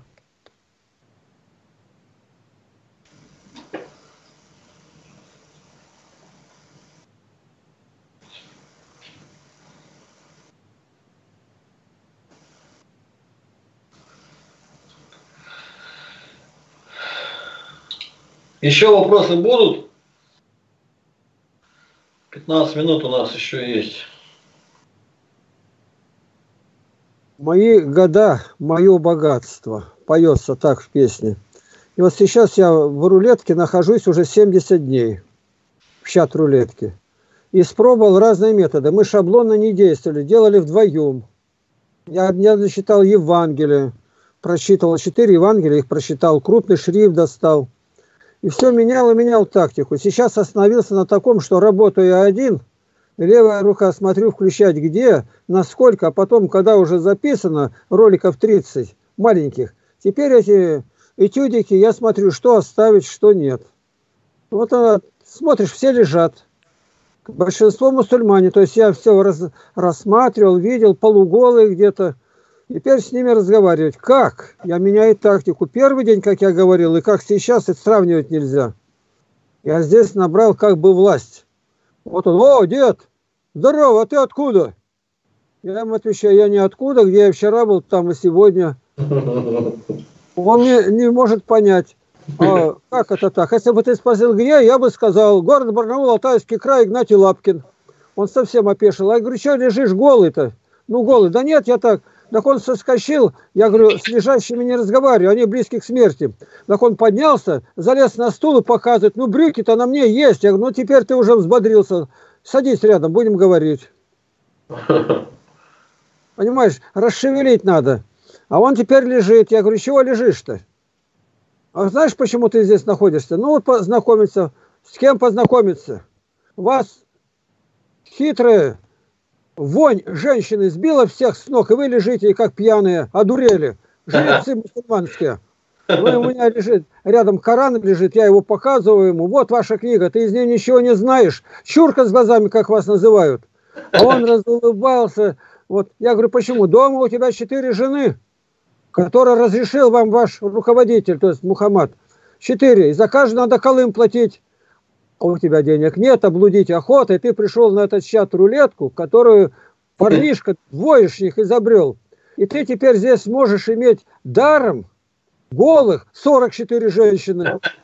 И вы с ума сходите здесь. Ну, вот так его распетрушил, как он сначала смеялся, потом замолк. Я Иван показываю Библию, он, у нас Коран. Я говорю, Коран, а сам ничего не знаешь, каркаешь. Смотри, я открываю Коран, а с обратной стороны по-арабски считай. А я не знаю. Да значит, ты и Коран не знаешь, ты огорчаешь, огорчаешься его, его руководителя, кто тобой-то, так считай по Евангелию. Вот смотри, как надо поступать. А вам что там написали? У вас спасителя нет, у вас все есть. Как вместе дружно поднять и головы резать, это все изучили. А как спасти душу, вы не знаете. И они уже-то начинают слушать. Даю дальше название своих ресурсов, и все. А они мелькают лица, один, другой, третий, наконец кто-то остановился. Ну, я начинаю его обрабатывать. Вот. Первый день было совсем не так. А сегодня у меня почти уже твердая форма обращения с ними.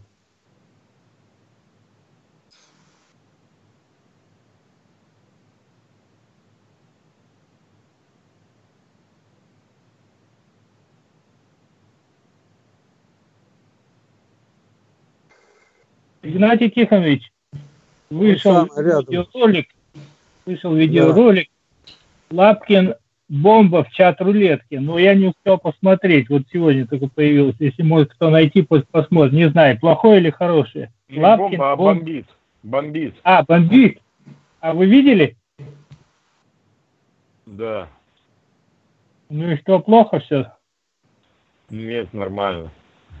У Игнатия Тихоновича все на профессиональном уровне. Все обкладывают, все как надо. Только учиться, учиться и учиться.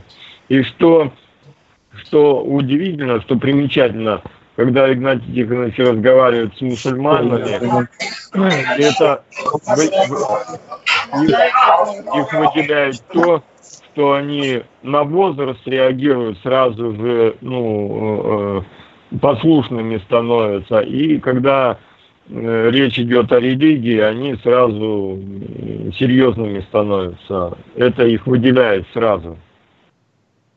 Как бы отличительная черта. У Вчера один только начинает говорить, он первый увидел меня и заматерился. Ну, тут я его и взял в оборот сразу. Ты мусульманин лежишь? Да. Как, сколько возраст лет? 35, а мне 80. У вас особое пощение, как сокалом. Как ты посмел так сказать? Я как будто бы я обиделся. Да нет, нет, отец, что вы, я не на вас, я просто там смотрел в сторону. В сторону смотрел, а ко мне слова эти полетели. Я если скажу мусульманам, они тебя похвалят за это? Нет, нет, я не на вас, нет, прости меня, прости. Я говорю, вот ты эти молодец, русские не говорят прости, обматерил, да еще вдогонку обматерит. У тебя хорошее основание, тебе прямо Христа надо принять, только и жить по Евангелию. Он замолк и слушает. Вот сейчас каждым, каждому по-своему подхожу. Надо быть религиозно талантливым, как Андрей Кураев выразился. Да.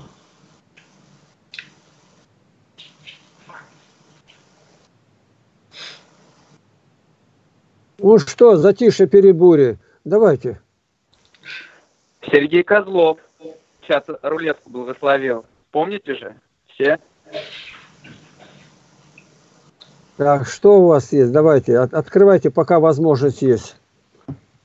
Э, да нет, я к слову, знаете, Тихонович сказал, то, что все начал, все, Сергей Козлов в чат, в чат рулетки будет вставать, и вы приняли эстафету, я сейчас вот вспомнил. И вот Да, сейчас уже помню, мы как бы так помню. разрастаемся, разрастаемся. На Малиносов сегодня исполнилось 70 дней. Ну, 20 ну давайте посчитаем. 20 января умер, 20 февраля, 20 марта два месяца, а 20 тут еще получается, ну, как раз два с половиной месяца. Сегодня у меня вышел с рулетки 300 ло- 300 ролик готовый. 300 Иногда в одном ролике бывает до 15 маленьких этюдиков. Это работа, большая работа. Вся, хоть как, 300 роликов. 300 роликов на, на чат рулетки уже изготовлено. Игнатий Тихонович, к вам кто-нибудь из чата рулетки в скайп просился уже? Рафиль, я не совсем понял. Повтори, пожалуйста. Из чат рулетки кто-нибудь к вам просился на скайп беседу? И- и- еще бы. Сегодня уже два человека, которые там с таким восторгом. Ой, вы встретились, а я уже четыре года на вашем там это Ютубе. Да я вот хотел так видеть вас. Это ролики уже выходят. Ну вот они плоды, слава богу. Вот. Это но- новые совсем люди. И они ни, ни слова против не говорят. И узнают, где и сами заходят. И отсюда беседа начинается. А мы в чат рулетки встречались. У меня уже сами зашли на наш YouTube. А тут-то я ему все накидываю, сколько надо. А если в мой Mail.ru зайдет, тут я его буквально, это в скайпе. В скайпе зайдет. Я ему все материалы скидываю, все, он работает уже. Это не один, не два. Ну а сколько? Ну не знаю, может быть человек 20. То есть пребывание здесь оправдано во всех отношениях. Мы на улице подходим на Евангелие. И пошел, ни слова не говоря. Здесь я, если его, он стоит, никуда не торопится. Я его пробираю. Даю ему Евангелие, читаю. Сегодня один, ну, поговорили все, говорю, хочешь, буду что-нибудь читать? Говорит, а молитву можно? Я, у меня псалтырь крупным шрифтом. Слушай внимательно, я ему читаю первый псалом, 13 и 90 и ролик этот будет стоять, он уже готовый, сформированный, которые у меня состоят из нескольких маленьких этюдиков, я отсылаю в администрацию, там соединяют, я не умею, а которые один берет и, ну, где-то не меньше, как 560 примерно мегабайт, это уже ролик, 20 почти минут. 20 там поменьше, ну, я уже посмотрел, какой удобнее слушается, не больше это не совсем желательно. Вот сегодня у меня 300 ролик вышел.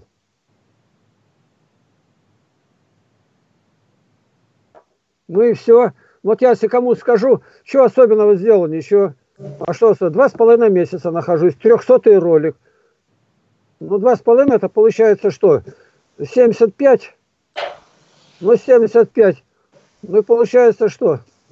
Ну, минимум почти по 4 ролика каждый день.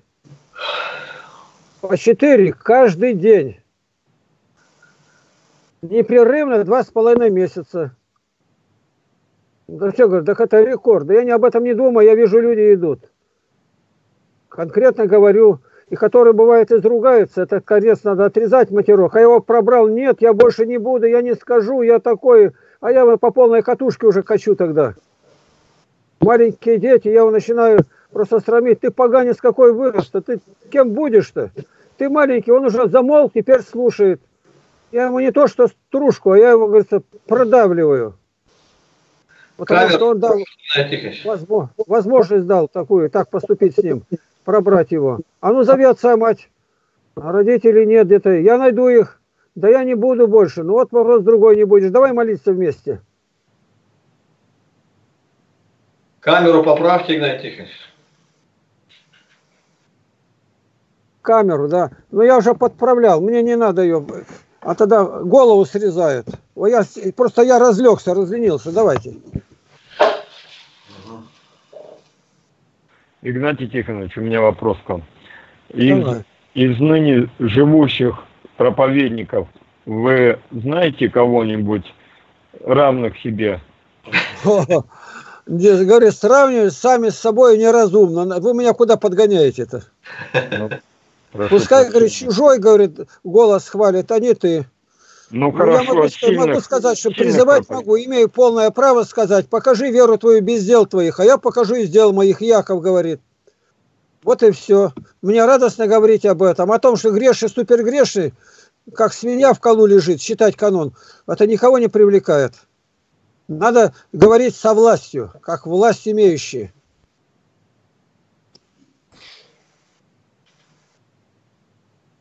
Вот просто говорю, чат рулетки два с половиной месяца, 300 роликов. Вот, вот эту цифру где-то найдите в интернете, есть такое или нет. Это сегодня подбивает итог, почему 300 ролик вышел.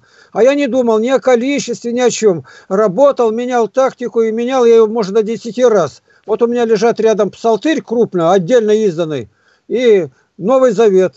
Я читал, а, чтобы не мешали они, я выключаю звук слышно только мой. Но я глазами не вижу, что в это время кадр-то мелькает. И было так, что промелькнули кадры, такие, которые надо где-то искать, вырезать. Я понял, что одному никак нельзя. Мы с Володей двое тогда начали, чтобы, если он там показывает что-то непотребное, он сразу раз выключил, а я пишу в администрацию отсылаю в конце вырезать концовку. То есть так, а теперь гляжу, человека-то рядом нету, я один, ну, натренировался, но иногда я забываю включать. А Володя там, как он вовремя подходит и давит мне на кнопку. То разговор-то нужный, почему не записываешь-то? Вот я гляжу и... Ну что? Виноват дурак, сэр. Прости. Балбес, как он говорит, мальчишка. Я рассказываю всем. Советский приехал и говорит, у вас бывает дети не слушают? Да, сколько угодно. А что делать? А в тюрьму их. Как, в тюрьму? Ну да, согласие родителей. Суда нету, никакого, говорит. Ну его берут, допустим, на две недели. Полная программа его там. И вот я, говорит, решил, а можно посмотреть? Можно. А парень здоровый там в девятом классе. Я, говорит, подошел, тебя как звать? Он, говорит, каблуками щелкнул, говорит, сэр, Джон звать. Вот так ты. А как ты попал сюда? Он опять каблуками щелкнул, потому что я балбес, сэр, родители не слушаются. Выдрессировали. Это как судьба человека э, Михаила Александровича Шолохова. Есть там такая, судьба человека называется. Он уже пришел из немецкого плена, сбежал-то, и тут разговаривает, и каблуками, каблук об каблук щелкнул, слушаюсь. Вот, говорит, вас как выдрессировали там. С каким-то разговаривает там один офицер в Киеве, мальчик, ну, там учится в седьмом классе, говорит, ты че где работаешь? Да нигде не работаю. А чем занимаешься? Ворую. Воруешь. А при немцах? при немцах нельзя было, расстреливали. А до немцев, до немцев воровал. И после немцев порую. Вот и вся грамматика. Мы этого делать не можем, но напомнить можем.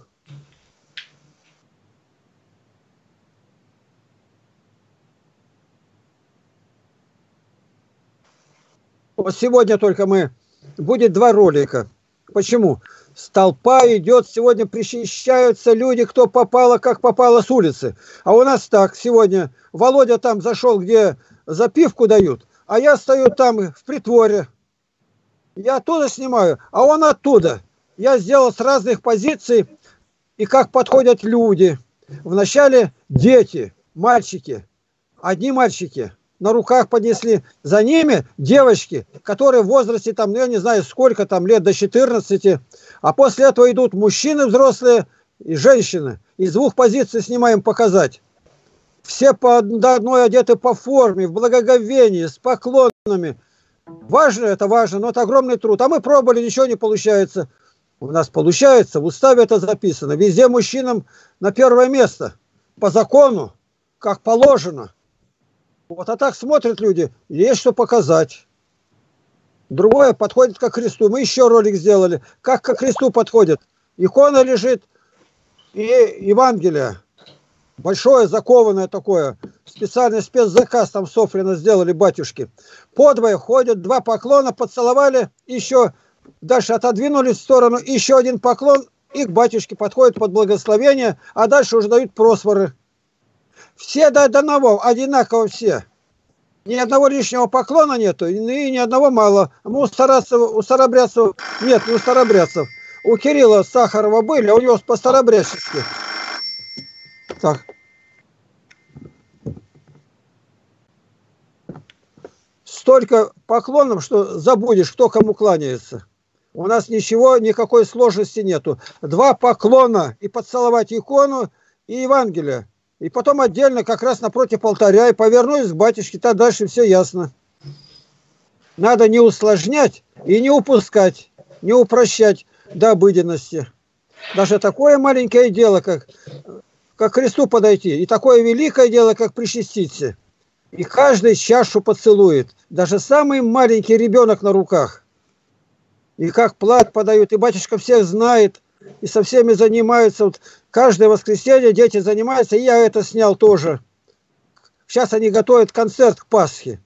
Я тоже это снимаю, хотя руководитель, кто с ними занимается, говорил, да не надо, это прежде времени. Я говорю, как раз и показать, как вы готовитесь, как она роли распределяет, как ведут себя дети, как заинтересованы.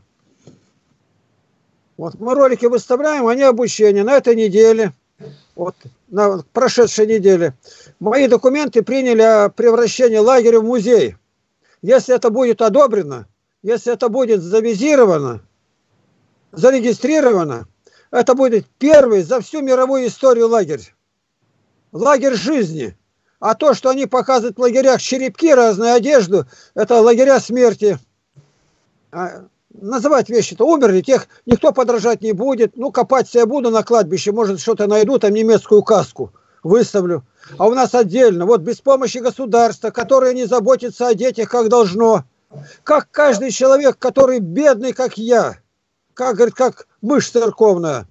И как детей этих принять, и как обиходит, и чтобы, ну, все как было. Все правильно обдумано, могу показать. И все не договаривались, сказали, а где вы себя возьмете такого? То есть должен быть руководитель. Пришли к выводу, что нужно клонировать. Меня пустить в тираж сейчас такое дело, если показывают, там вот делают в интернете, и вроде фигура будет, я буду вставать и каждому говорить, а у меня ответы там 4124 вопроса, и вы будете отвечать на любой вопрос. Из этих вопросов-то трудно выйти. Не знаю я. Ну, 45 лет это стаж. Так теперь мы в другом формате. Лагерь-то фактически существует. Уже третий год будет, уже будет 48 год. Вот так. Я хочу, чтобы этих лагерей было тысяча хотя бы. И по тысяче детей поднимут уже миллион. Ну, Николай, как... Николай, вопрос задавай. Да, Игнат Тихонович, такое дело. Я тут э, на днях кому-то сказал из братьев, говорю, вот такие занятия проходят отличные, приходите. А мне кто-то говорит, да ты что, это же Лапкин, он же хулит все, что можно. И сбрасывает мне статью, значит. Э, Дулевич разбирает там куча ссылок на вас, где вы что, кого хулите там, типа. И вопрос такой, может быть, э, вы уже готовили ответ на эти все обвинения, чтобы... Нет, ну, я, не ответ, я отвечаю, все понятно, дальше не надо время тратить. Все я знаю, все это обвинения, все это фальш. Они мертвые. И ответы они должны, эти, говорят, со всех сторон осматривать и смотреть. Я не настаиваю на этом, но у меня есть свое мнение, и я ответил. Что означает сегодня монашество? Это смерть жизни. Вот о мощах они там это показывают где-то. У нас мощи есть, я поклоняюсь. Но я сказал, оставьте хоронить мертвеца мертвых, а не копать. Выкапывать еще больше, еще хуже. Пусть они вникают в то, что я сказал. А мне не в чем оправдываться. Я сказал на основании во свете Евангелия. А они потому, как принято, какие традиции. Каждый остался при своем. Но Бог будет судить. 12.48 Евангелия от Иоанна по слову, говорит, который будет судить в последний день. Мне что им доказывать? Я сказал. У меня есть такое выражение, это, ну, у меня выработалось, а его сейчас подхватили, везде в эфире муссируют. Я не хотел крылатые фразы говорить, но они сами получились. Спорит тот, кто ничего не знает. А кто знает, он возвещает. И отошел. Они теперь, вот это да, вот я записал себе, теперь так и делаю, я спорил. Мне не надо доказывать ничего, я сказал прежде чем сказать какую-то фразу, у меня не сотни, а может тысячи часов молитвы. А который спорит, у него ничего нет, кроме зависти. Он лопается от зависти. Я буду с ним разговаривать. Это говорит, зачем мне это нужно? Я его знаю, кто это говорит, из какой там где-то. У него ничего нету. Им характеристику всем Максим Степаненко дал. Вы, говорит, нападаете на него, на этого старика, а вы вместе со всем отделом миссионерским 5% не делаете то, что он делает один. А он был, принял крещение у нас. Я не, не оцениваю себя по процентам, а я знаю, я молюсь, и все делается. Никакой роли себе я тут не отвожу. Но, естественно, надо знать, какие дети, как говорят. 45 лет. 45 лет у меня было наказание физическое. А как так? Там умирали от этого. Страна, да попробуй тронь ребенка. Один директор приехал детского лагеря, говорит, я сделаю так, меня посадят сразу. А почему вас не трогают? Я говорю, Бог защита. Без наказания нет ничего. Нет. Я его накажу так, что он будет до, до морковки на заговоне помнить. А как так? Вот так. Мальчика, приехали комиссия, кандидат медицинских наук, врач, прокуратура, детей исследуют в отдельной комнате. Закончилось ничем. Дети, да вас тут избивают. Один мальчик ответит, никто нас не избивает, нас наказывают за наши проступки. Все. А как наказать? Вот вопрос. Иногда это чисто символически. Только создаю удар по, коли, по голенищу сеткой там или крапивой. А мальчику скажу там слюнями по глазам проведи, что ты заплакал. И скажу, беги к умывальнику там, чтобы тебя... Другие это не знают. А другие молятся, он знает. Это нельзя делать. Он ударил девочку, которая моложе его на три года. Я что, должен смотреть? Родители мне девочку отдали не для того, чтобы ее долбили здесь. Николай. Еще раз повторяю, 45 лет. Как Максим Степаненко говорит, я один раз на одну неделю взял там сколько-то, человек 10, я с ума с ними сошел. А у меня в среднем каждый год было 108-109. Обидно просто, что там выдернуто из контекста и не пойми, что пишут, лепят. Не касайтесь, бросьте, бросьте, не считайте мусор. Зачем я в чужой блевоте не буду возиться? У них нет ничего. У меня 300 роликов только вообще Люди подходят, а я буду, мне некогда с ним говорить, он завистник. Придумали миссионерский отдел. Я доказываю, миссионерский отдел ни один человек в мире создать не может. Почему? Потому что Бог это по-другому показал. Благовестнически создавайте, проповеднически создавайте, певчески создавайте. Миссионерски нельзя составить его. Это непосредственное вхождение в область Духа Святого.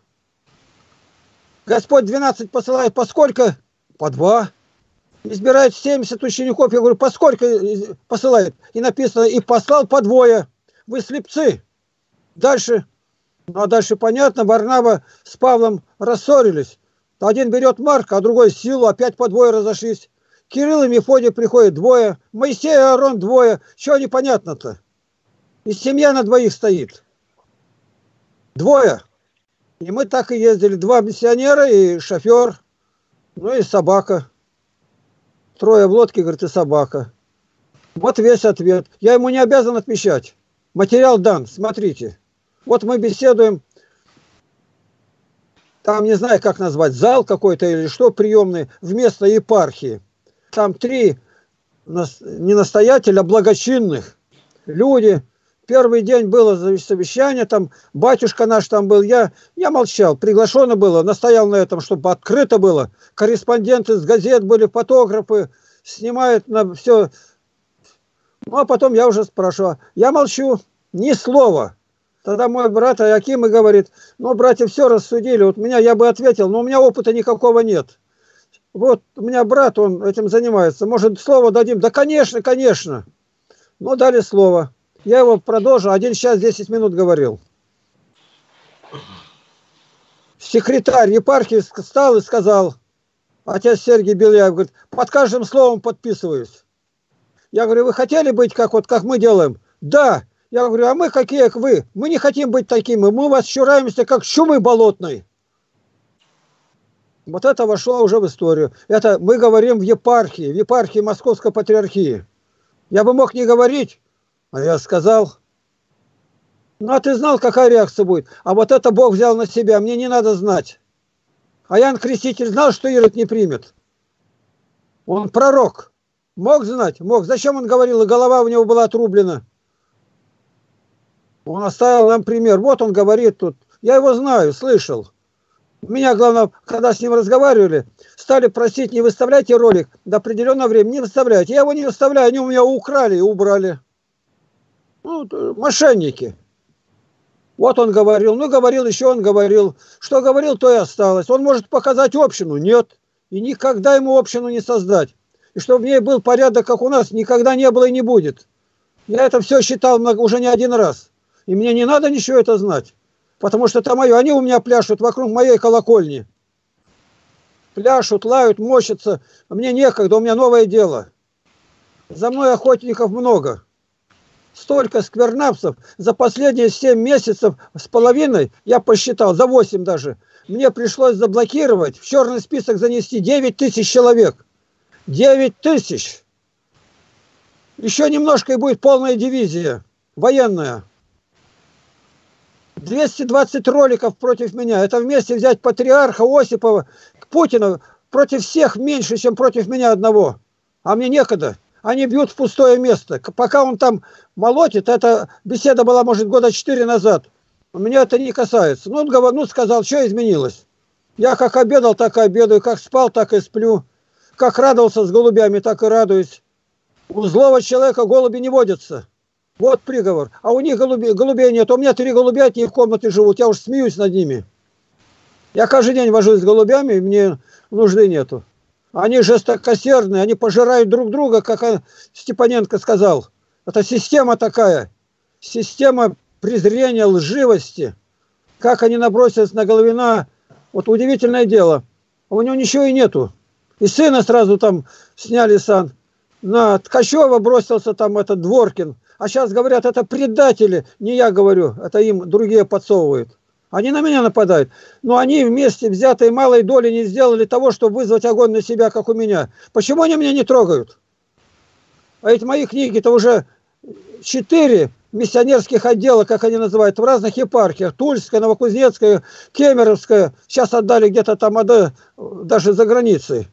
И книги из Одесского монастыря переслали Киево-Пещерскую лавру, центр православия. И уже прошло, как книги им отослали, пять лет. Могли они хоть слово сказать? А, конечно, книги. Это вот этот, который тут вылазит, говорит, ну, он не может быть выше тех, которых я называю.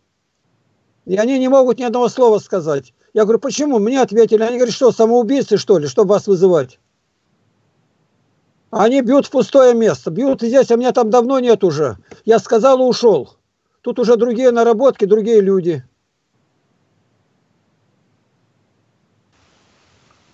Игнатий Тихонович прав. Ребята, э, брат и сестры, не надо смотреть вот эти э, против ролики, видеоролики, которые против Игнатия Тихоновича. Это сатана нас подстерегает. Я на личном опыте убедилась уже.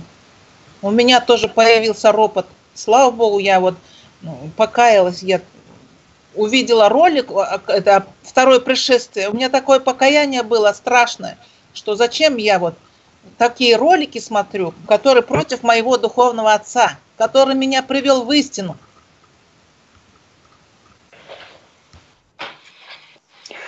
Поддерживаю. Я то же самое делаю. И никогда не читаю и не смотрю видеоролики с этой блевотиной. Отец Игнатий, можете мне задать вопрос такой? Тут над моей головой э, сгущаются тучи. В каком смысле? А сегодня священник нашего храма допытывался у меня, посещаю ли я э, православную церковь Украины, которая по канонам э, Российской православной церкви значится как раскольнической. Мол, если ты ее посещаешь и вместе молишься, то тогда мы должны тебе запретить причащаться, исповедоваться и все такое. Но я сказал прямо, я посещаю эту церковь, богословские курсы и практические занятия, когда они там проводятся, оставаясь при этом верным чадом Украинской православной церкви.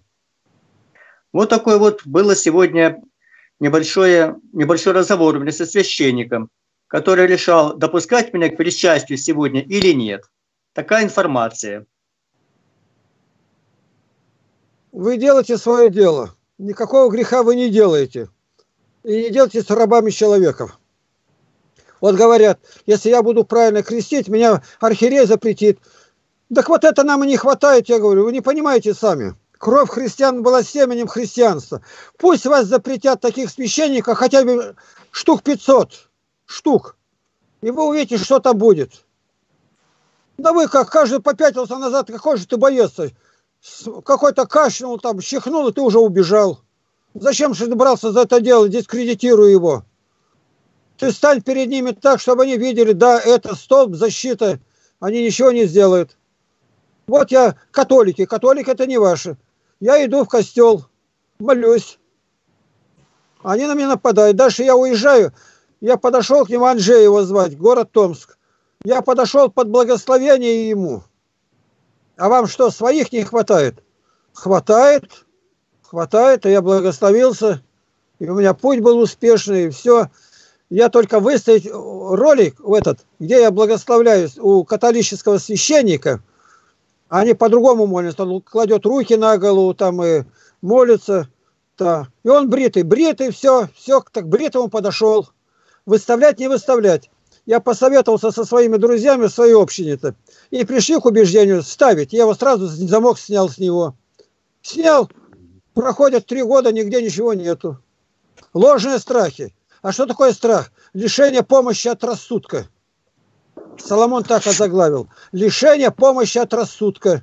Эти все химеры восстают во мраке тьмы ночной. Надо действовать. А вы считаете, что вас могут отучить?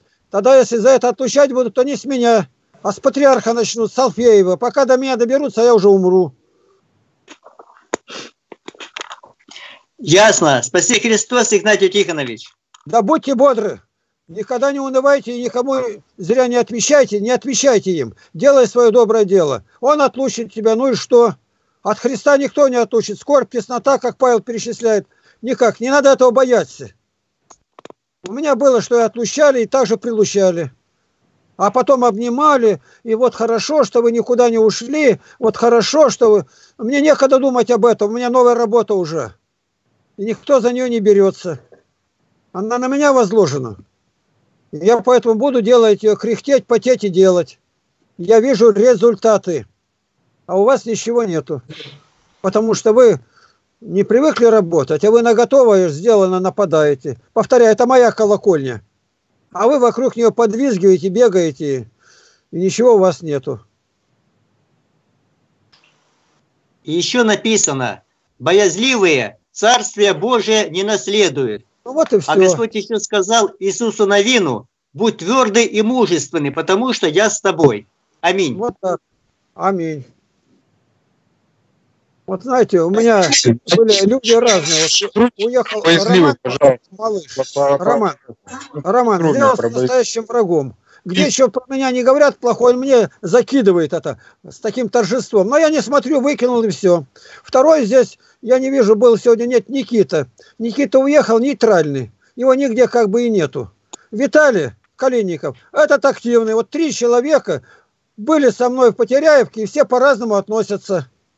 Естественно, что в моих молитвах они все трое. А Виталий в этом участие принимал, там ролики составлял на наших материалах. Вот и все. Три человека и совершенно разное по отношению. А я почему должен требовать так? Один меня испытывает, другой поддерживает, третий размножает.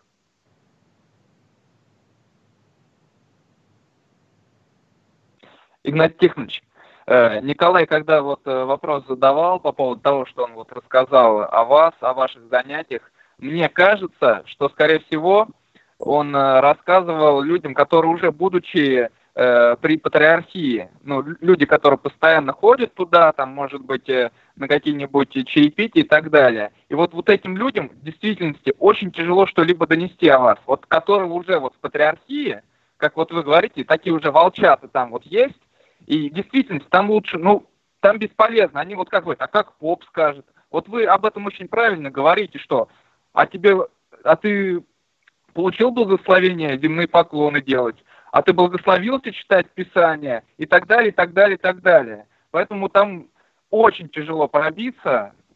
Вот я тут тоже засвидетельствую. Я вот что скажу. Как-то вышли на разговор со мною э, духовное чадо Даниила Сысоева. Ну, там такой Царионов был, НТО подписывался. Ну, просто не выскажешь, как они напали и что они сделали. В первый раз отошли, а я не выключил свой микрофон-то, а они о чем говорят, я все слышу, они издеваются, хохочут, я ничего не делал, только стал молиться. И вдруг они такой прокол делают, их как взяли в оборот, там Смирнов, все понесли, все, заглохло, замазали, ни одного нет уже года три.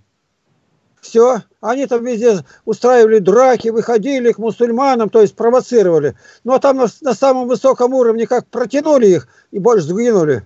А они там эти песни, вот откуда этот, кто против меня идет, из Тувы. Языческие все. Мне некогда заниматься вашими делами. У меня своих хватает. Я бы никогда не взялся за детский лагерь, если бы кто-то повел. Но однако я говорю, бывают люди, которым скажешь, да ладно, я за это не держусь, пусть убирают. У меня выработка, немедленно этого человека убирать надо. Раз он не держится за свою должность, он ничего великого не сделает.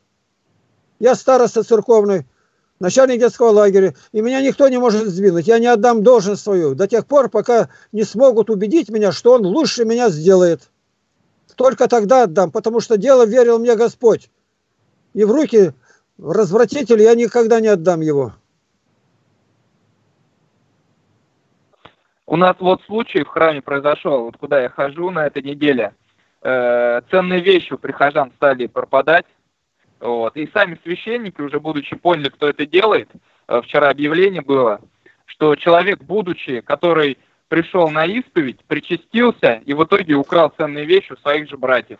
Это вот я к тому говорю, что вы правильно говорили, что э, недостойно ходят, причащаются. Вот чаще, чаще исповедуются, чаще причащаются, чаще исповедуются, чаще причащаются. И вот результат этого. То, что много курят, причащают, и прочее, прочее, прочее. Вот вот трагедия маленькая, вот, знаете, в стенках нашего храма. То есть свой человек, который постоянно ходил в храм, Великий пост, исповедовался, причастился и в итоге украл у своих братьев ценные вещи. Вот, вот он результат вот, э, вот этой работы, понимаете? Здесь вы правы, вот, аминь, вот, причина этого, вот она. Потому что допускает всех, кого хочешь и кого угодно. Тут уже некоторые поняли это, говорит, я буду причащаться, как вы говорили, четыре раза в год или еще меньше. Уже доходит наконец. Русские приняли от греков и никогда больше четырех раз в год не причащались. А Златоуст говорит, не одобряем ни частое, ни редкое, а достойное. Некоторые в два года один раз причащаются. Но четыре поста, в каждый пост можно причаститься. У нас исповедь идет в другой комнате, совершенно в другой. А рядом в другой комнате молятся в это время, каноны считают. Даже это и то. И как подходят, посмотрите, вот выставлю ролики сегодня, как благоговейно. Просто сравните, не, не отойди это от нашего ютуба, я постараюсь выставить. Но у меня плохая закачка, один ролик пять с половиной часов закачивается.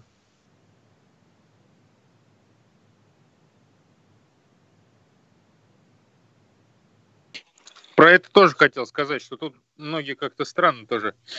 Зачем на себя брать э, вот это вот, судить там, достойно, недостойно? Может, он на коленках с утра до ночи молится и милостыню не подает, и потом достойно причащается. Зачем вы на себя берете это? У кого так? Нет, у кого Николай, так. я то, что вот сам свидетельство видел. Человек, который был на причастии, потом зашел за угол и сигарету взял и курит. Это я свидетельствую перед Богом тебе говорю, Николай. Конкретно А об царь, этой, царь об этом Давид случае. взял, царь Давид взял жену своего генерала, а его убил. И что дальше? Ну, это уже как бы идет самооправдывание, Николай. Как бы здесь конкретная ситуация, то, что не, не, не раз, не два, не три. Поэтому... Ну, нам судить не надо, это не наше дело. Да никто не Аккуратнее. судит. Ну, что ты взял, что что-то судит? Я просто говорю, что в действительности, это понимаешь, это э, тебя коребит просто. Ну, да... Ну, э, коребит, кру- помолись за него. Зачем ты говоришь? Ну, отошел. Помолюсь, что за, дальше? помолюсь за него, но Златоуст говорит, я лучше тело свое отдам на растерзание псам, чем тело Христово недостойно причащающимся. Златоуст тоже судит, что ли? Я опасно говорю, ходите. Я вот этого не понимаю. Зачем это делать? Сами хорошо четыре раза в год причащать. Зачем судить других-то? Возьми себе пример. Так, время, время за указанное Да, ну, никто не судит, ладно, с миром, никто не судит, ты просто сам сейчас, вот уже, когда говоришь, я сужу, ты сам судишь, на самом деле. Мы перешли уже грань полтора часа, 25 минут. Ну, уже помолиться и разойтись. Тут у меня неоконченные дела еще ждут. Молимся. Я могу отойти только от вас сейчас. Так, Да. я всех прошу помолиться, а органи- которые помогают в краевой администрации, Татьяна и Тамара, чтобы дальше они продолжали с таким же желанием, как начали. Выбирайте молящегося, Игнатий Тихонович. А, Выбирайте молящегося. я не понял, можно отойти мне? Он говорит, выбирайте, кто будет молиться. А, выбирать, кто молится. Я сегодня смотрел тут. Вот кто тут стоит? Вот это кто у нас? Кто это? В шапочке маленькой тут. Красная что-то у него рубашка. Дмитрий Лемеш это. О, Лемеш, вот пускай помолится. Достойно есть якова истину, блажите Тя Богородицу, пресноблаженную и пренепорочную, и Матерь Бога нашего, честнейшую Херувим, и славнейшую без сравнения Серафим, без истления Бога Слова родшую, сущую Богородицу, Тя величаем. Молись, Дмитрий. Во имя Отца и Сына и Святого Духа. Я Аминь. благодарю Господа, что когда-то встретил Игнатия Тихоновича через ролики на Ютубе. И Господь подействовал на меня. Приложил мне к сердцу Писание, толкование святых отцов. Благодарю за знакомство с братьями, то, что каждое воскресенье я могу вот так вот рассуждать о Слове Божьем, беседовать по Слову Божьему, слушать толкование. Хвалю Господа моего каждый день, каждое утро, каждый вечер. Хвалю за наказание, за добродетель, за то, что кормит меня, одевает, поет. И прочее, прочее, прочее. Благословен Господь всегда, ныне и присно, и во веки веков. Аминь. Аминь. Аллилуйя, аллилуйя, аллилуйя. Слава тебе, Боже. Аллилуйя, аллилуйя, аллилуйя. Слава тебе. Аминь. Хвала, честь тебе и поклонение.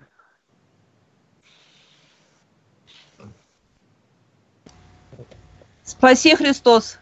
Аминь. Спаси Христос. Слава тебе. Аминь.